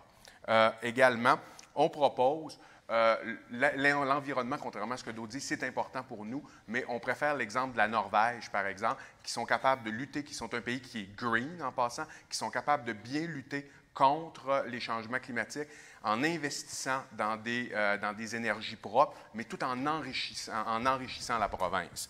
Également, lorsqu'on parle euh, d'Argenteuil, ben moi, c'est sûr que euh, je m'engage à vous représenter euh, à l'Assemblée nationale, vous donner une voix à l'Assemblée nationale, être très près du peuple, euh, voir quels sont vraiment les besoins de la circonscription. Et je suis même prêt à aller de façon très transpartisane, c'est-à-dire pour le bien des Laurentides, pour le bien de la circonscription, m'associer avec des députés d'autres partis pour, comme on discutait tout à l'heure, vraiment que notre région et que notre circonscription pu- puissent avoir une réelle voix au sein du pouvoir. Merci beaucoup. Monsieur François Girard, vous avez le dernier mot du Parti québécois. Enfants, ados, adultes, personnes âgées. Je, m'adresse vraiment à tout le monde.